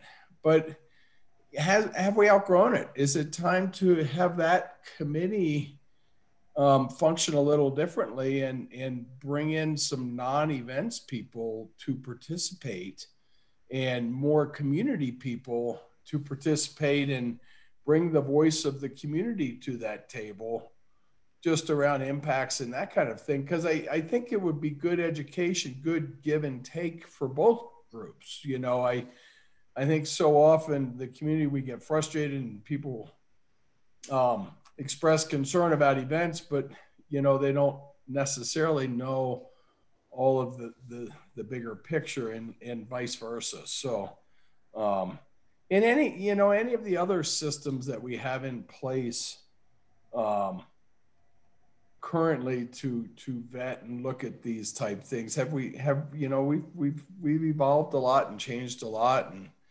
and covid has as we said given us a chance to, to do a bit of a reset and you know i think we want to look at at everything and have everything in front of us for, in the process yeah that's great comments dick i um, actually asked Jeannie at our last resiliency meeting for just that because outside of this larger discussion, I have a real fear that when October comes this year, everybody's going to try to jam in every event that they have not been able to do. So we need a master list of everything that's going on so that everybody's just not tripping over each other. And this is all for naught then because you know everybody's trying to make up on fundraising, et cetera, and sports and everything all at once. So it's important to get that matrix of every single thing that goes on um, for the larger events discussion, but then also just coming out of the gate. You know, on, on the private events, the only really st- say that we have in those, the only leverage is um, is, is liquor licenses, correct? correct. I mean, if, correct. So, and, so on that, and, the, and not even that good of a. I mean, we're, we really don't have that much leverage. What we do have potentially, Jeffrey, and we've talked to Shannon about having Helen come to talk to us when the time is right. What other things can we put onto those um, event organizers to make the impacts to town less severe? So if somebody's having a booze centric event on private property that they're going to end at seven or eight o'clock at night, can we say to them, you're going to need 100 security people then? You know, those are the kind of things I think we need to figure out where our leverage is and what we can do to, if we can't stop them, we can at least mitigate what happens in the community then. And can we do the same thing for sustainability, recycling, requiring requiring a, uh, a zero waste event? I mean, hopefully we should do that on our own events as well. But yeah, can we do that? Is is that part of our purview? Jeffrey, it you know is. that's that's already part of the events committee, but I, you know, in in my earlier comments, I think we can broaden the the scope of that. So I, I think there's a lot of opportunity to um, take what we've learned in the events committee in in the zero waste world and and to to expand it to our non our nonprofit fundraisers and and our you know youth sports tournaments and everything else that we do in town. And I believe uh, SEPA is another way that we, um, I mean, we don't need to approve the events either. And um, that is a way that um, at least, at least when I was on the events committee, that was another way to track the sustainability um, of an event as well. I, I do have a question with SEPA in this memo. It says that seven alcohol, wait a second, no. Um, at the Riverwalk, all but one required a SEPA. So what was the one the, event that did not require one? Still on the hill because it's it was all indoors. So if you have an event that's all indoors, it doesn't require a SEPA. Okay. Um, which you know part of our evaluation, and we've already started to look at the ordinance that governs SEPA as well as the rules and regulations to take a hard look at what the criteria is um, for approving a SEPA permit and where our um, current uh, ability lies in denying a permit. And, and I think that's, we'll be having some more conversations about potentially making those more robust. Um, I see Helen popped up, but and you certainly ask her some questions. I will just say that from the alcohol licensing perspective, that is a very, very narrow um, purview as far as what can be denied. And so our ability to deny a permit is going to be more robust on the SEPA end than it will be on the liquor licensing side of things. Um, the state doesn't give a lot of flexibility in that. And even in um, you know, the parameters we put around an event to make sure that it's meeting our criteria, and whether that's police or barricades or sustainability, that will all fall on that SEPA side of things. Um, Helen, did you have anything you wanted to add? No, I think I think you spoke very clearly about that. It's just that uh, liquor, well, and we're preparing something for you from the liquor authority perspective um, or liquor licensing perspective, but liquor um, is really driven by the state, and the state rules and regs around liquor permits are very limited in what you can deny a permit for. Um, the other thing to consider is that we have both special event liquor permits, and then we also have um, we also have events that just expand their current liquor licenses for the event, and those are those don't actually come through a special event liquor permit process. So um, we'll put this together. We'll bring it to you. You've seen it. Some of you saw this a couple of years ago when this came up the first time. Um, so it might look familiar, but um, we'll we'll brief all of you who haven't seen that and get you the right information. So what Helen's talking about is in 2018, um, council asked to see what how many uh, special liquor licenses were issued, and they did a really great multi-page memo on the numbers that were issued and then the events that they were actually issued for. So as part of what we come back to you with during that next work session, um, it will be a look back. I can, I'll reiterate what they gave to you in 2018, and then they'll do the same thing for 2019 so that you get a really good picture of what was issued for those types of permits, as well as who, who is asking for the permit. Um, because as um, Eric said, you know, a lot of these events are tied to nonprofits. So we want to make sure we give you kind of a really complete picture of what that looks like when we come back to, to chat with you again. You know, and on the, on the other side, as far as we've got a lot of emails about this for, for months, really, since we started talking that we might be revisiting it. it are we going to kind of compile the feedback um, and having it kind of a succinct, uh, a, a succinct spreadsheet of what the issues are and, and what the, the, those that responded, what their thoughts are. I mean, anecdotally, what what my what my friends and my circle of uh, of my sphere of acquaintances are is a lot of people expect the town to be busy. It's just because it is busy so often. And I think we can do stuff with making it more sustainable, making it better enforced, and, and all that. But what I, I see people kind of pushing back on is that normally, though the town can be crazy, we can have our little sphere of uh, of, of nature to ourselves or with with other people uh, that you know like-minded people. This last summer has been a real kind of wake-up call where uh, uh, you know our trailheads have been packed probably from from covid. But i would like to find out where the biggest concern or the biggest complaints are when it comes to is it in town or is it in on our on our open space? And I mean, I think we might, you know, maybe some people think, well, maybe we should make some sacrifices early on to get the economy back up and running and then back off. So I, would like to hear, you know, kind of all that, a, a schematic of what people's thoughts are. And piggybacking on that, I think we got a lot of great um, letters to council that gave color and just hearing what people were thinking. But I'm glad we're taking this approach where right now we're debating process and we'll come back with more data so we truly understand what the climate around the events is from the community survey, having a larger data set to, um, to make the decision.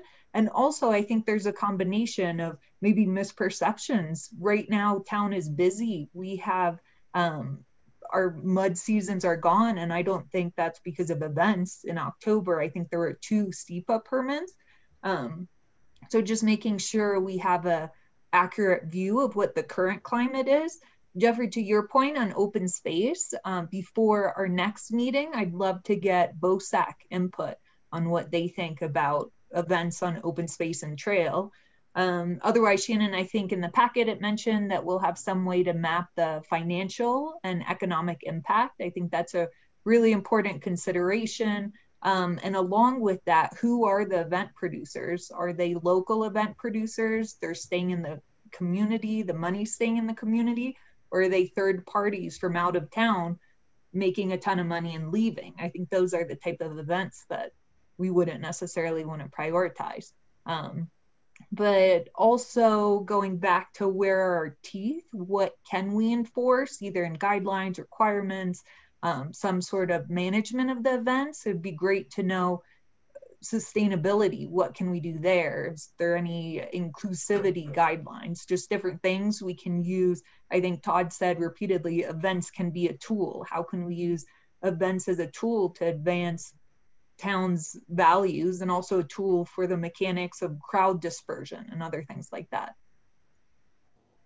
Yeah, I um, I love what you're saying, Carol, about using them as a tool and um, pushing inclusivity and sustainability. Um, with with that and a bit with what Jeffrey said, I wonder since um, since you're looking for what information to gather, I'd love to see what events locals embrace and locals feel a part of.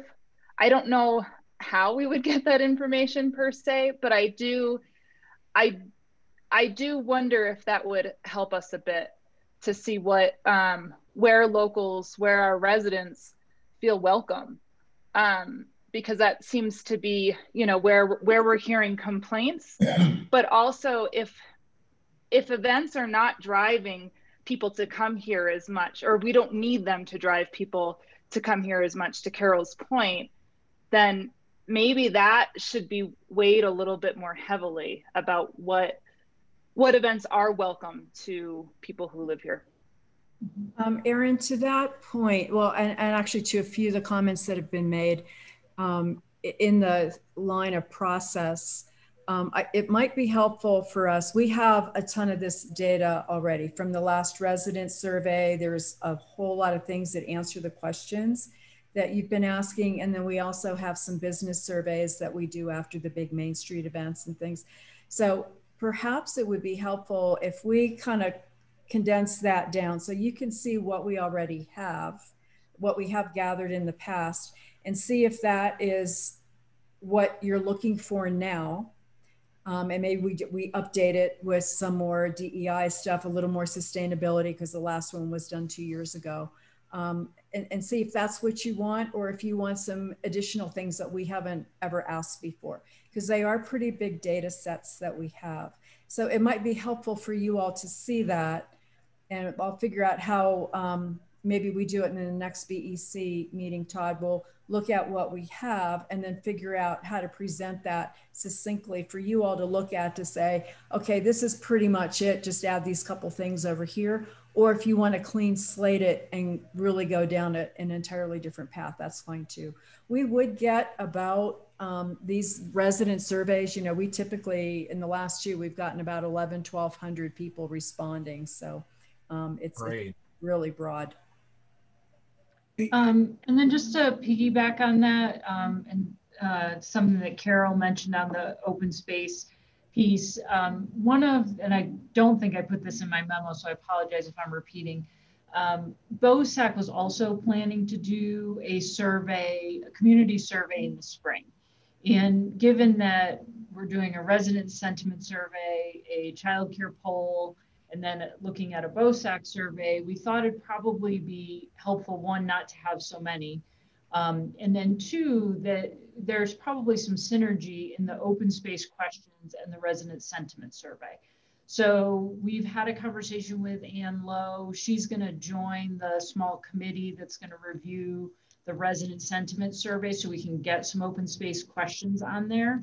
Um, so I think that's going to be really helpful to kind of looking at that big picture of not just events that are happening in the core of town, but what's also happening on our, our trails and how do people feel about that. So I just wanted to clarify that we were merging those things together and we do have that input from Ann.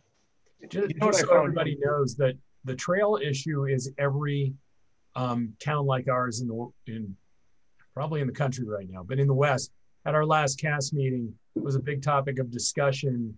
There was a um, some people from the Forest Service showing just how terrible things have gotten at some of the places in Moab um, with trash and you know human waste. Some problems that we don't have, but we're not the only ones. Virtually every cast town has overwhelming numbers on you know 14ers and trailheads and you know hopefully some of those issues are covid only and once we go back to more normal life people will drift back to their their other things. However i'm not totally sold that that's going to happen.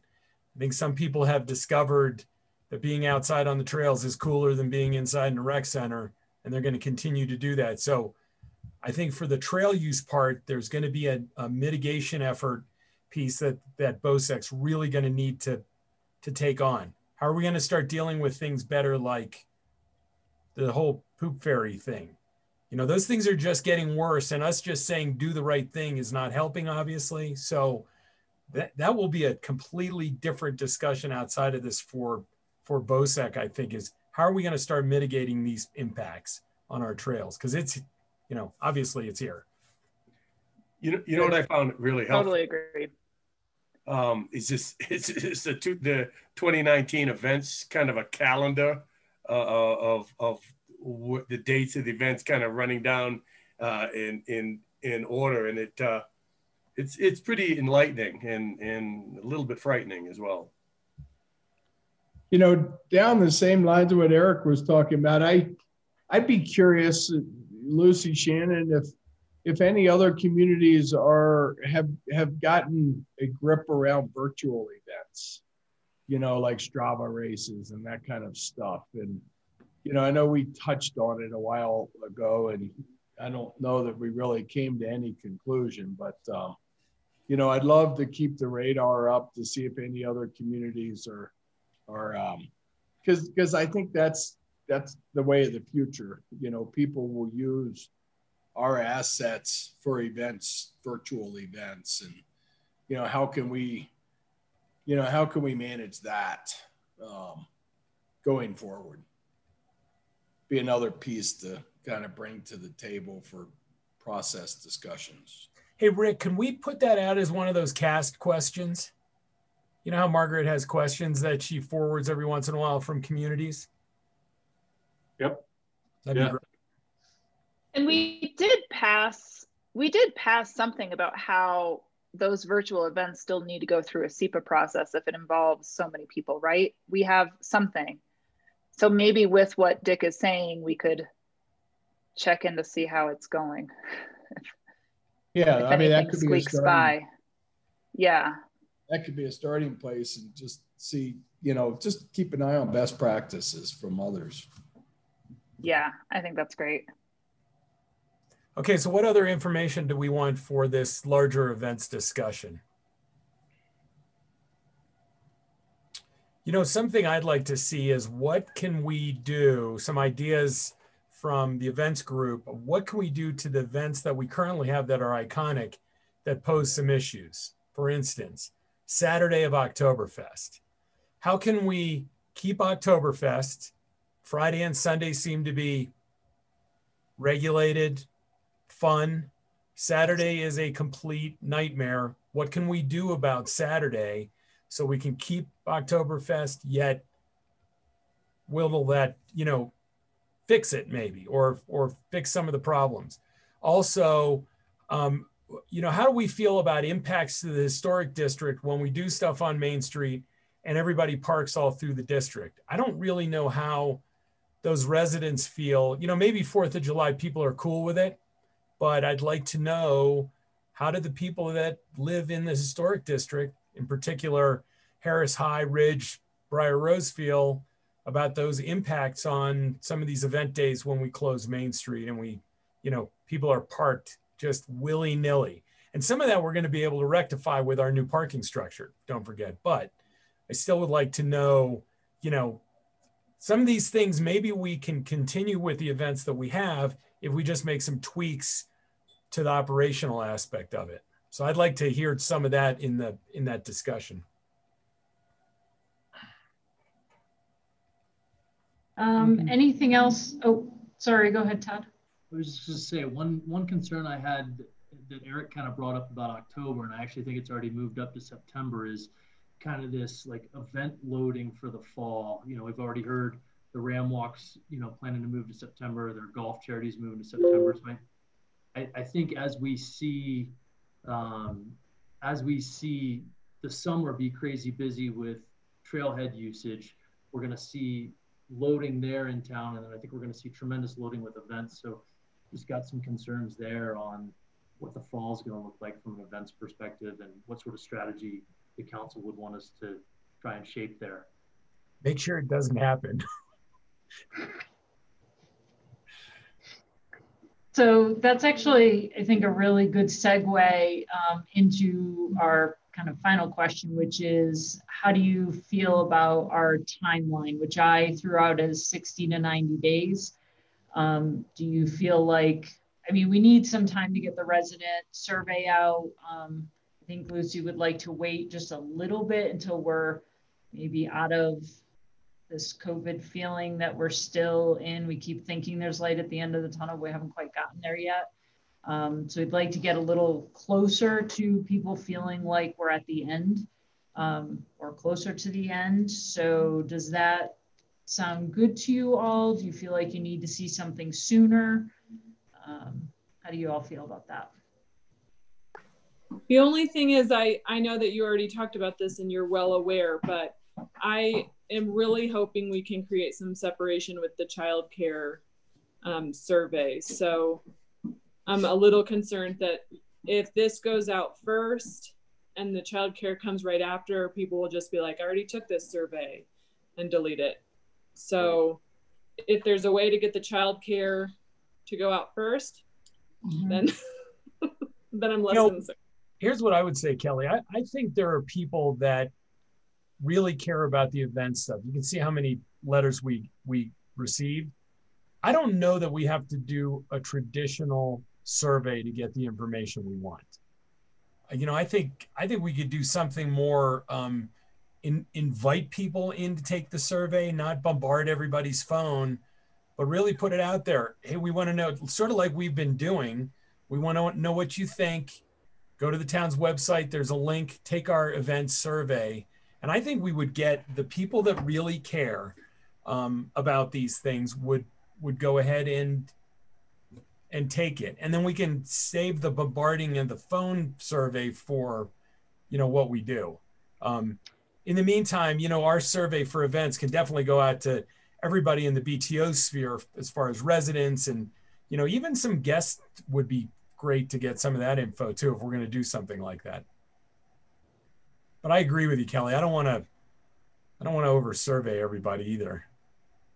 See, I, I, I kind of feel like we want a broader view um, and um, a deeper dive around this. This is our our chance to really reach out. We've got the community engaged around events. Let's let's uh, you know seize the opportunity to get input about everything. You know this this whole covid reset and how it's affected everyone in our town. And you know because i think there's greater concerns around sense of community and and, and character you know town character. And i mean i think there there are a lot of concerns out there even beyond events. And um, i really like lucy's thought of really doing a a um, you know, resident, um, you know, sense of, of quality of life and, and, uh, you know, it does really a, almost a second dive of the destination management plan process similar um, of that level of a survey. And, and I think it'll take long enough to really get it together and to, to get it out where I think Kelly, if childcare moves quickly, I, I, I would hope that you could be well ahead of the other one. I don't know what you think about that, Lucy. Dick, don't you think that we have a ton of community sentiment surveys from that original deep dive, though? See, one of my worries right now is if we survey a ton of stuff right now, people feel like, well, we haven't been doing anything. Maybe we should start doing stuff. I'd really like to, I'd like to look at the stuff that Lucy offered up that was pre-COVID, when people were really feeling event fatigue. To to get you know some of those sentiments is really what I'd like to look at.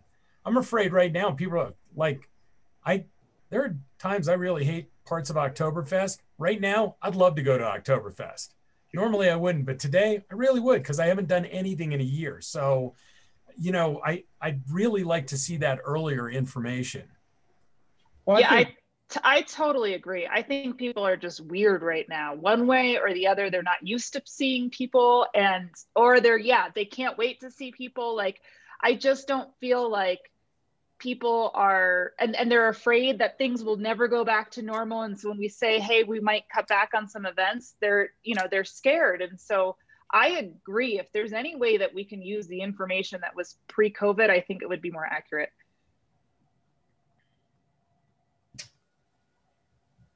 How does everybody else feel about? We'll package that up for you so you all can see it again and then decide what in addition, you know, we would ask those same questions again in this resident survey. And then with anything additional that you, like, I think the virtual events, that Yeah. wasn't even a thing two years ago. So there's nothing on that. You know, we will, we'll do that. But I think it will be helpful for you to see what we already have, you know, so you can see again what we asked before and what people said. And then uh, just kind of adjust it for um, today, right? So is there, I was kind of imagining, um, we've been talking a lot, Dick and I have been talking with Wendy and she's been using these um, words like the grand, the great reset or the grand reset. And so in my mind, I was imagining um, something that was going to take us kind of a year to work out and figure out like exactly where we want to be. So I'm just wondering, am I wrong? A, like, are we in sort of, no, we really should do this in the next few months and it really shouldn't take us that much longer? I could be wrong. But I'm almost wondering if, you know, if there's something to get us started with these pre surveys, but then to Dick's point, we probably need to do more. I mean, I think we have m- new questions. I think as we move forward with some of these bigger lists and calendars that show us all the different things that are going on, I think it's going to be a discussion for quite some time. And so maybe in October, God willing, we're open to some level of like gatherings and regular normalcy and normal events. Maybe October, November, and December next year, maybe that would be a good time to produce. Maybe it's a survey, maybe by then we come up with a, you know, a different outlook. But I'm just wondering, I guess, the timing on this, because I was seeing it as a really kind of a long-term look. And am I wrong with that? And if so, then, you know, maybe we can revisit the survey in the future. I did not think this would be that long term, Kelly, because I think we have a, a much shorter window. Um, because there's going to be stuff that happens at the end of this summer. I feel like. And yeah, absolutely. But I feel like I feel like you know some of these might be decisions we have to make this year, but maybe we're like over the next year we're really putting the building blocks in place that will help us make decisions into the future. Yeah, I don't disagree. Maybe I'm thinking too big. One, one of my one of my concerns with that is the minute you allow an event this year, you just put that in concrete. That event now owns that time, which is which is why this overload of events in October really worries me. You know, with I'm afraid that if if all this stuff jumps into that month, that stuff's all going to say, well, you know, we're sort of grandfathered in here. We got to do our event last year. We get to do it this year. So that's that's a real concern, and that's why I think we need to move a little speedier than But we're talking, I mean, we're not going to have new events popping up this year. We're going to have people who usually have their event in May asking to be in October because that's the first available position. And so we'll just tell them, look, this because of COVID and because we want your nonprofit to succeed, of course, we're going to work with you every way we can. But in the future, you'll need to be going back to your May spot. I mean, I, I don't imagine we're going to have enough weekends or days or venues to be having new events this year. So I don't really um, think that there's not a way we could manage that situation. you want to bet. And I think that's a role for the events committee where where they can, you know, I, I mean, I hear you, Eric. There's entitlement, you know, the second that, that an event is approved. But, uh, you know, I just think we're really clear with them on all events that we're doing this this deep dive and really, you know, doing a, a self look at what we're doing with events and and uh, you know what what was good yesterday may not be good tomorrow. And you know i just make sure everyone understands that because we want to do a thoughtful process and have you know get as much input as possible and and uh, um, you know make the right long term calls and set up the systems to support it and and, and make it you know the. Debbie Downer in me just wants to point out I I, I think it's very possible that when Oc- you know that that October November we're going to be not in the same situation we are right now, but in a situation where where crowds are still going to make us feel hinky, and and so I mean, I hopefully you know, think, things will will progress, but looking at the numbers that we had today with COVID, you know, I mean, in in the rollout of, of vaccines at other parts of the country that, you know, that those are the same people that be coming here. I, you know, I don't want to be Pollyanna on this thing and think that this is uh this is behind us. I, I think it's it's gonna be a year before we really Well- feel comfortable. And Jeffrey, that's a, that's a great point. I mean, if we don't want October to be loaded with events, I mean, we we don't have to, right? Like, can't we say? I, I don't feel comfortable planning on events in October at this point. We don't have a lot of information to say that that's a possibility. I mean, what is the process right now for all of that? Are people signing up and they're just planning on October? Because we can control that too. Can we? So, um, a couple things. To Eric mentioned earlier that he brought up in the resiliency committee last week a need to have a kind of really complete matrix of people who are even thinking about having an event this year. And so Sarah at BTO is putting that together and um, we'll be having those conversations about exactly what you've all said. I mean, I don't think we can guarantee as we sit here today, knowing what COVID looks like, that we don't know what October, November, September, whatever, what that's actually going to look like yet. And so, um, you know, I think anything that anyone even talks about is somewhat tentative. Um, and, I, you know, I think we have a plan to communicate that to people as well. So, as I was listening to you, I think what I'd like to ask is, um, maybe that we schedule time with you and and pull together all as much of this information that you've asked for we pull that together for you um, we talk with the bec and take a look at that dmp cert resident sentiment survey that was already complete. And like lucy said distill that down into something that's succinct that we can also present to you at the same time. Then we can have that conversation about um, where we are this year and whether or not based on the information you have you think you need need or want more information or if you think you have enough that you can give us direction on how we go forward and maybe that's here's how we want you to go forward for the next year um, and we want to revisit this for future planning or you say okay here's our short-term plan and here's what we'd like to see for a long-term philosophy. But maybe before we can kind of nail down what that looks like, we need to have that bigger conversation with you with additional information with the whatever it was 2018 2017 um, survey information that lucy already has in her hands then make some decisions on on what you want to see and if you need more um, does that sound like a good next step It does. okay all right um, so Shannon, yeah sorry dennis No, you're good. If we have the ability and we are looking at a complete reset, do we have the ability or the authority to take a block of time and say, there's no events here? Lucy? Yeah, Dennis, I think that's, um, you know, it's certainly a conversation that we can have with Tim Berry on that. And then I think it'll come into play on the private versus public piece um, and some of the events that we um, maybe can't control. Um, but generally speaking, I think we have enough um, teeth in the SEPA as it currently exists, and we're going to talk about what we might want to put in there for additional teeth, and and whether or not we can put something in there that says we won't permit any events in October or something like that. But that is definitely something we'll take a look at, bring back to you. What I ask is that I've heard it several times is that we have no break at all from events. We look at the And it- iconic events. Absolutely. I, I love having those in town.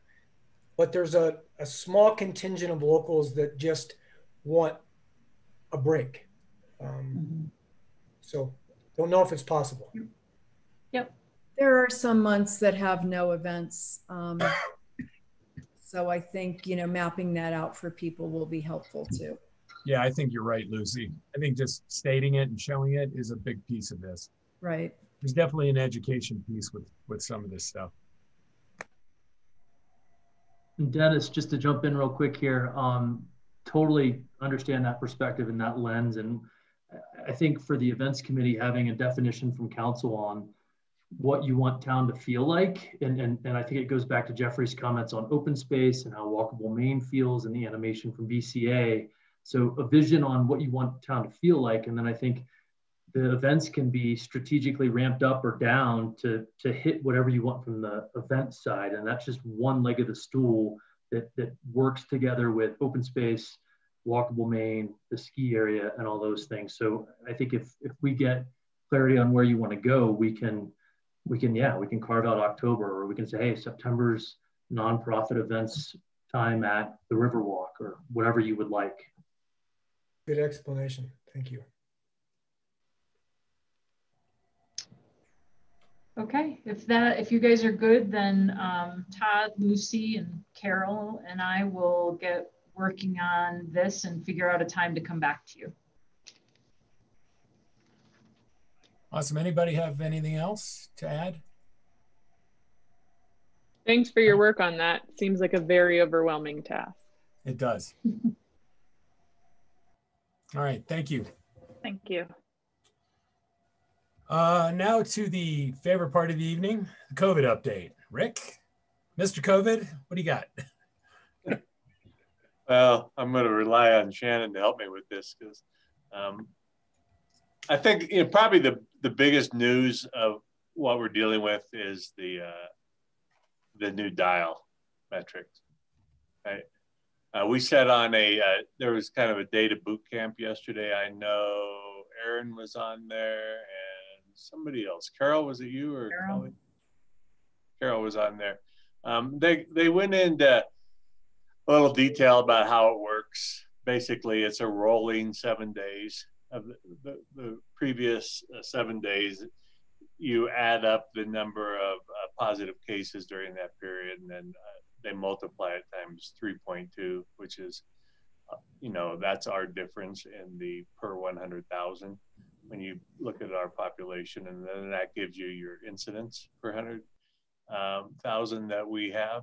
And so, you know, you if if you know, you know, it gives you a rough idea of where we're at. Obviously, we have to stay below 500 uh, for level orange, and if we do that through Friday, then uh, our five-star businesses will move to level yellow. Uh, depending on what is that? What number do we have to stay at? Uh, we got to, well, we have to stay below, um, is it below 10, Shannon, on positivity? Yep. We have to stay below 500 on the incidents per 100. Yeah. Between 300 and 500. Okay. So, but if we do that this week, if we don't have any big. I think the last one were like 417 or something. But if we stay um, through Friday, then effective Saturday, restaurants can operate that are five star certified, or other businesses that are five star certified can operate in level yellow. So, um, for some businesses, depending on how you're laid out, it it doesn't make a huge difference um, because it's still that number of 50, whichever, you know, instead of 20, it's 20 now in orange is 25% or 50, right? Whichever is less. And, and yellow, it's, it's uh, 50% or 50, but whichever is less. So, you know, you know, that's, that number of 50 is kind of holding most places uh, to not big increases. So, but it's, it's a step in the right direction. Um, Shannon, what was the other things if any, we were going to go over? Uh, the worker rental relief and the business rent relief. All right, great. Yeah. Um, so the deadline closed for January for the business uh, program um, from uh, Corey, Corey, Corey, Corey, why don't you pop on real quick? I'm here. you go. Give him, uh, I could pull your email up here, but I mean, I gotta tell you, uh, my hat is off to Corey and all the work that she has done. She has just scrambled like crazy, uh, constantly, constantly reaching out and trying to get these businesses to apply and educate them and and uh, up to the 11th hour on most of these things, still trying to pull people in. So uh, thank you for doing that, Corey, and uh, your work is recognized. But we uh, give them an update on where we landed in January, what we've done in February so far, and where we're at with the small uh, business relief program through the county. Sure. So January, we ended up with 78 businesses total that were approved for money. Um, the total amount we paid out was $249,763. Um, February, again, was a little bit different because we had to evaluate businesses that would um, hopefully be eligible for the state dollars and then offered businesses that were not eligible for that program a second round of rent relief. So we we paid out yesterday for the February rent relief for the businesses that are not part of the state program. That ended up being 49 total businesses um, at $140,144. Um, and so for the that's the the town program and what has been paid out total. The small business relief uh, just closed at midnight last night for Breckenridge. Um, we ended up with 46, or sorry, 47 um, submitted applications. 36 of them have already been deemed as approved, at least from our, our internal evaluation. Um, and then we will meet, we, those will be sent to the, um, to the county uh, to determine how much everybody will receive. There are still nine um, applications that required a little bit further review with our finance team. We are working through that. Those will be completed by tomorrow and included with uh, everything else for the county. We did decline two applications so far. One was over um, the maximum amount uh, for gross sales, which is 2.5 million. And then one it was not headquartered in Colorado, which was a requirement for the state program. We'll know, I think by Friday, which level, how much will be paid out at each tier from the state. And then we'll be able to evaluate if um, there's any town dollars that will be added to those applications approved through the state program. So as a reminder, those businesses that are applying under small business relief are not eligible to apply also for our February relief, but we will supplement that to make sure that they're not losing any money that they would have got from the town. So, uh, but my guess is they'll be pretty close to whole because, you know, there's a half million dollars countywide to be distributed. So um, we'll see what that looks like. Hey, Corey, what is our total since the beginning of COVID that we have put out for business relief and then um, personal rent relief? Do you have a total total? And an estimation is fine. I mean, the, the original program, we paid out 900,000. Um, and then at least for the, the businesses. And then we did the restaurant, which I think was around 250,000. So we're probably now going to be around 1.6, 1.7 million, somewhere on there for business. I didn't manage the, um, the residential, so I don't have those numbers. Okay. Um, Eric, I think before we finished January business relief and before we did any February, the two combined were about 3.1 million. Um, and so now I would guess we're probably about three and a half million. Okay. That'd be a good number to get. I think it's important for the public to know, you know, what what we have done um, as COVID relief. You know, we So you will, Eric, that's also part of your appropriations package that you'll be acting upon because all of the 2020 dollars have to be appropriated by you. They were outside of the budget. And then obviously some of these now are going to be 21 appropriations, but we're working through finalizing that appropriations list to look at all of the things that we added.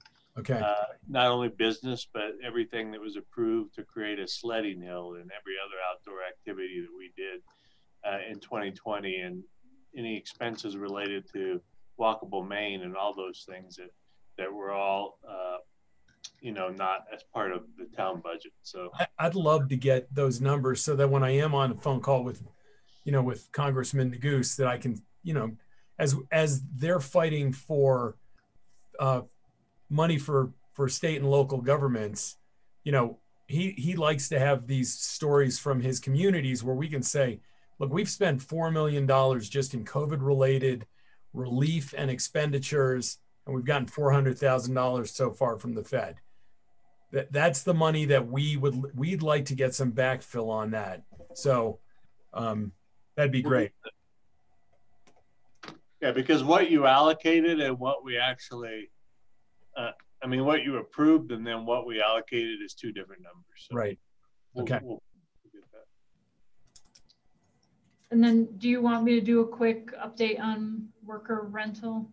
Yeah. Um, so FIRC has spent all of the money that we've allotted to them so far.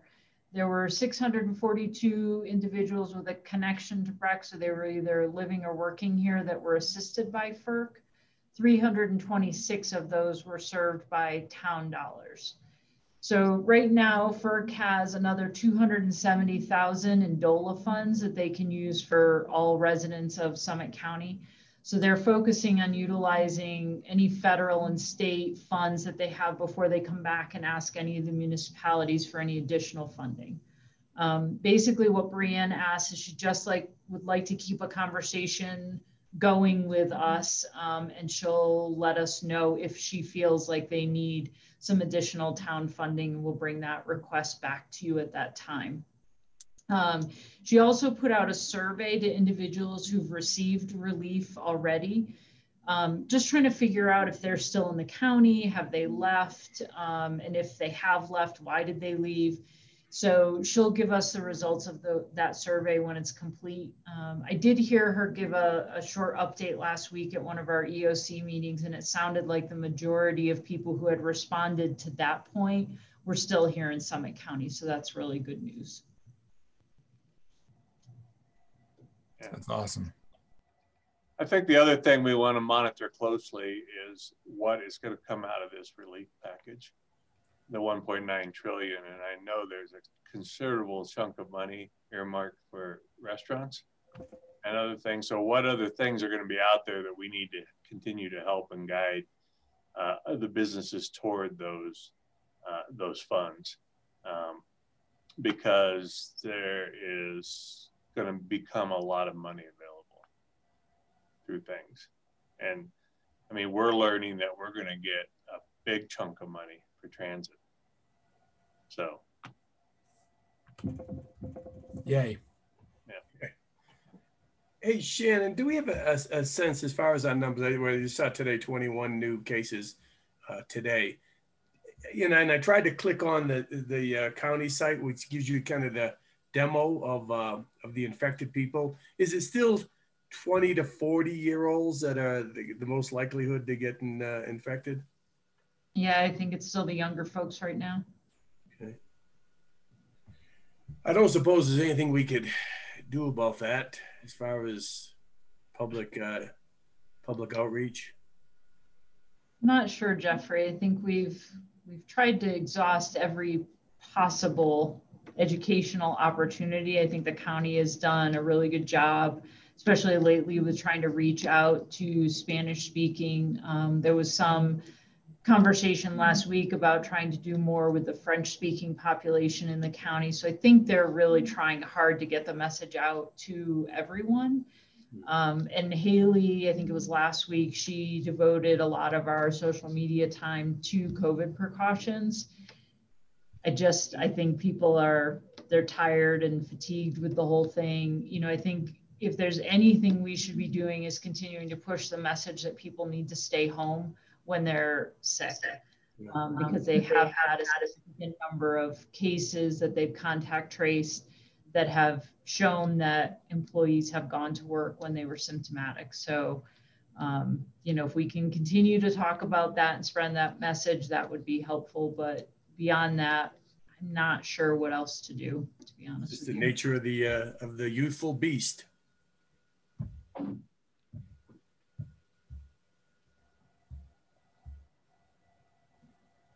Um, it, it's tough. I mean, I, I will tell you from being a frontline worker, it is, I am bone weary from telling people to pull the mask over their nose, from arguing with them about walking by every sign that explains what to do. It is death by a thousand cuts right now. Just people are so, they're just so over this whole thing and our frontline workers in town are the ones that are putting up with us right now. They're dealing with people from out of state that, you know, a lot of people still do not believe that this is a real thing. And I talk to these people on a daily basis. They don't believe it's real. They believe it's overblown. They don't understand why we have this mask ordinance. What, you know, well, in my state, we can do whatever we want. Well, you're not in your state. And, you know, early on, if you remember, we really made a push to, to get that information out and, you know, I would say, honestly, you know, if Lucy's still listening, before March, we probably need to do that again. Um, because we're just, we're sort of back to a point where, you know, people are either giving up because they're just tired of it or they still just don't believe in the whole thing. So, you know, even though some of the people that don't believe in it were the ones that cut the line to get the vaccine the first time. so, you know, you figure that one out. Anyway, it has been it has been a tough couple of weeks lately. I think for for all of our frontline workers, and I, you know, I don't know what we can do, what kind of message we can send out again to say, you know, back off. Do not yell at the girl that's get making your coffee. Not don't yell at the guy at the retail store that's just doing his job. Um, but I am just personally frustrated. It's it's been very difficult lately. Do you think is there something else that we can do for our frontline workers to help su- support, I- like make I think feel messaging. supported at all? I think messaging is a big deal. I think it worked the last time. I think people that were coming here understood the gravity of what Breckenridge is doing. And I think we've just got, you know, you've, I mean, this thing's been going on for what, 14 years now? We've been in COVID. You know, that's, I mean, I, I just, I think we need to push that again because the people that are going to come here in March are, you know, they're Jeffrey's people. They're the 20 somethings that they don't necessarily believe this. They're coming from states that don't have the same measure of safety protocol that we do. And that that's where things will get difficult again for our frontline workers. So, you know, if if Lucy can if we can get those messages out again that we pushed earlier, I think that would go a long way for the people that work in this town. Is there is there any resources for? I mean, uh, are we do we know what colleges are coming on certain spring break times of the of the of the uh, of the spring? Is there any outreach that that can uh, we can avail ourselves of that? I'm assuming Lucy and her team have all that information. Yeah. Yeah, they, they generally do. I think we have to determine who's still having traditional spring breaks. Because you know, like CU's not doing it, right? So they're starting back different. Yeah. There are states though that have dropped all their mask and everything lately. There's a couple of states that have just said, "That's it, open back up. We're back to it." I had a long discussion with a guy that runs a restaurant in Tulsa, Oklahoma the other night. He has a gastro pub in Tulsa, and he said that everything that they do is completely voluntary. You're supposed to put partitions up between every table, but it's voluntary. So nobody does it. So they're just open. And, you know, so a lot of people are coming from places like that. And then they get here. If we don't warn them beforehand, like we were doing earlier on, then they are taken by surprise. For the first time in, you know, probably four or five months, the other night, I had three people walk in with no masks. And they were like, well, I don't understand. Why do we need a mask? We don't have masks at home. Well, how many signs did you walk through to get to me when I have to tell you to go out and buy a mask. So we, we just need to pump out some information again. So Lucy did put in the chat that they can totally up the educational and safety messaging um, and that they do know which colleges are on break. And right now there's no organized groups that she knows of. So we'll take a, take a harder look at that too. Okay. If everybody's okay with doing some additional messaging. Yes. Uh, anything else from COVID? Eric, what I might recommend to you is if we wanted to spend 15 minutes, uh, do any other matters or do you go through your committee reports real quickly and get that out of the way, then we can go into an exec session and we'll probably have, you know, a 15 to 20 minute break before you start the night meeting. Okay. Sounds excellent. Um, other matters then, gang. I have one. Yeah. Um, I we have been hearing around town a little bit about water rates questions and why they were, you know, how much they were raised and what that means to the actual bill. And I saw the response that was given to somebody who reached out to mayor at town council, mayor and town council. Um, and I just I didn't think it really answered the guy's question. I mean, to just say when was when were rates last raised? Last year.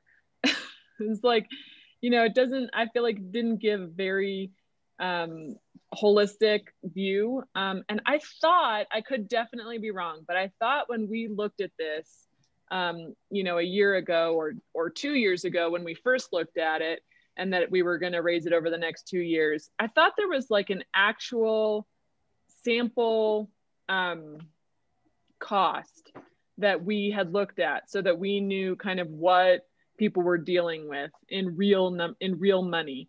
And i just wondered if that's um, part of the education that we could give people who are asking. It's been on the wellington facebook page and i was asked personally and then we had this letter. So i know it's around you know i know the question is around. And i'm uh, i would like to put it in perspective to people because i know we had a very robust conversation about how much and is this fair and who will this impact and is it a big impact but I didn't feel like the response we gave the man um, in writing was really enough.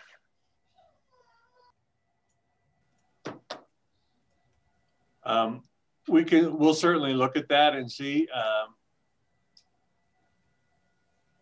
I'm trying to look, I'm, I'm thinking back, which is why I'm hesitating a little bit on that discussion. I know we had a discussion when we looked at water rates and James, remind me, do we have a, did we set our rents, water rents to increase uh, by 5% for X number of years?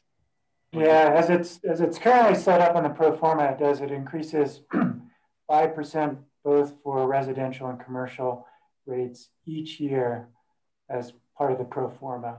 One thing that the last time we had this discussion was really around the water service maintenance fee, and if for those that were on council at that time, um, we presented um, increasing the water service maintenance fee as part of, you know, kind of additional revenue as part of the, for the budget. Um, it's probably warrants a, you know, discussion um, in the near future to bring that back, just to look at how the water rents um, compare and what those are used for, um, and also in conjunction with the water service maintenance fee and the PIFs. Um, as, as everyone here certainly knows, we've just completed a, a, big expansion to our water system. And so there's a big um, debt service to that project. In addition, we're, as everyone knows again, we have the Goose Pasture Tarn Dam, and then we have another um, series of projects in the future to maintain and provide safe drinking water for this community. What I can say is even with the 5% increase each year as it's um, captured right now, our water is still very inexpensive in comparison to water rates in other locations. But as Rick, you know, under Rick's direction, we can certainly bring something back for council's um, council discussion if that's desired. Well, I think what, what we'll do is we, we will commit to looking at how we could craft a better response. That explains a little more of why these things happen, the pattern of what we're doing, why we're doing it. I mean, water rates are supposed to pay for, you know, it's not about banking, it's not about making money. We don't, we're not allowed to make money off water. We pay for the services that is required. And so, uh, you know, when we increase those things, there's a reason why, and we need to make sure we're clearly articulating that. So we'll look harder at that, Kelly. A good Kelly. Thanks so much. Yep, awesome. Other matters, other other matters. Anyone? Uh, just a heads up to anyone that's listening. We have changed our VO, uh, VRBO hotline number. Um, to, and I'll give the website, but it's it's 970-423-5334. And you can get that number at townofbreckenridge.com slash short term. Uh, the number just kind of went online. So um, and we have like refrigerator magnets and stuff like that, which I'm sure we'll be getting to uh, concerned citizens. But uh, just to be advised, I, I don't know, if, uh, will the old number still work, Shannon? I don't believe so. There was a little bit of overlap between the two numbers. Um, I'll have to check because at some point that old number goes away. And uh, you know, can they just go to the town of Breckenridge website and uh, get kind of a have a link to that, or do they have to hit townofbreckenridge.com slash short term? Um, I can pull it up and put it in the chat what, Okay. on how they get to the website. Okay. You've been using that number, Jeffrey? Yeah, I had to narc out a neighbor. It was it was Erin in her new her new home. Dropped a dime on her, sung like a canary. Surprise, surprise. All right, any other other matters? Okay, how about uh, committee assignments, uh, creative arts? Dick or Kelly? Kelly leave? You're on mute. we we uh I've been the finance committee's been very active, which I am on, just kind of looking at different budget scenarios. Um, you know, as as the anticipated 2021 year is changing. Um, we have, I think, in a, a board meeting the end of this week, I think for the board to approve some of that so we can come back to you with more details at our next meeting or actually Matt will be reporting next meeting. So hopefully he'll share some more of those details then. Um, so that's all I have to update on BCA. All right, Kelly? Nothing to add? No. Okay. Uh, events committee? Are we good with what you already said? We we more or less touch on anything, but again, like big thank you to Shannon, Lucy, and Todd. The whole discussion is quite the beast, and I think they framed it in a really productive way. So just thanks to them. Awesome. Uh, Heritage. DK. Yeah, that's me. Um, we have a board meeting tomorrow afternoon, being Wednesday. But the really cool thing um, is that, let's see, how does it work here? Um, Barney Ford um, is going to air on PBS February the 27th at 7 p.m. It's a 55 minute long documentary exclusively about Barney Ford and his important legacy. And in the broader context, Black Lives Matter. So if you get a chance, put that on your calendar and get a chance to look at it. Um, uh, Larissa said she saw parts of it and it was pretty spectacular. Dennis, what was that date again? Cool. It's um, February 25th at 7 p.m., Dick, and it's the Okay. PBS channel. Boy, it'd be great to see uh to have Haley really push that out. Yeah. Public. I'll give her, we'll give her a call tomorrow. Were you looking to getting a, like for those of us that don't have a TV, get a, a, a link that we can watch it on our iPad or something? Is there anything? Can you do that without? It's illegal. Oh, well, I'll talk to you. I'll talk to you off the record then. Haley is, is commenting in the Q and A about how she's pushing it out, and she's doing a live something on Instagram on Friday as well. Sweet. Great. Good, good. Awesome. That's all I got. Uh, how about tourism? Anything Dad? add? No. All right. Open space. E? Uh, no meetings. We're talking, well, we will be talking about the plan some more. And also, I just wanted to note that the events are on our radar as well. Great. Uh, Child Care Advisory Committee, Kelly, or any news from the kids in your neighborhoods? Do you have one on your lap right now? the one on your lap. No, I think we talked about childcare a lot. Oh, although they were able to um, apply for some more PPP money. So, oh, sweet. Um, yeah. So Did they, have all done that. What? Did they get it yet, or are they still waiting? They don't know yet. Yeah, they're waiting. I think they're just starting. I've just been hearing some people in the community are just starting to get theirs now. So hopefully, pretty quickly. Great. Uh, social equity. Any of you? We have another meeting scheduled for later this week, um, but since our last council meeting, we had our listening session that Dr. Nita guided. Um, so we had a great turnout there. I think it was maybe 50 or so community members, and I know Haley uplifted that on social media. Um, but that listening session, along with the internal assessment and stakeholder interviews, the consultant's going to use to um, just provide a recommendation to town. Erin, Dick, did I miss anything? Yeah. I think those were all the major points. Nice work. I think that was. Well done, Carol. Yeah, Shannon. Eric, I did, I did Um, forget that the BHA. Hold on was one sec, successful Dennis. Getting, say again?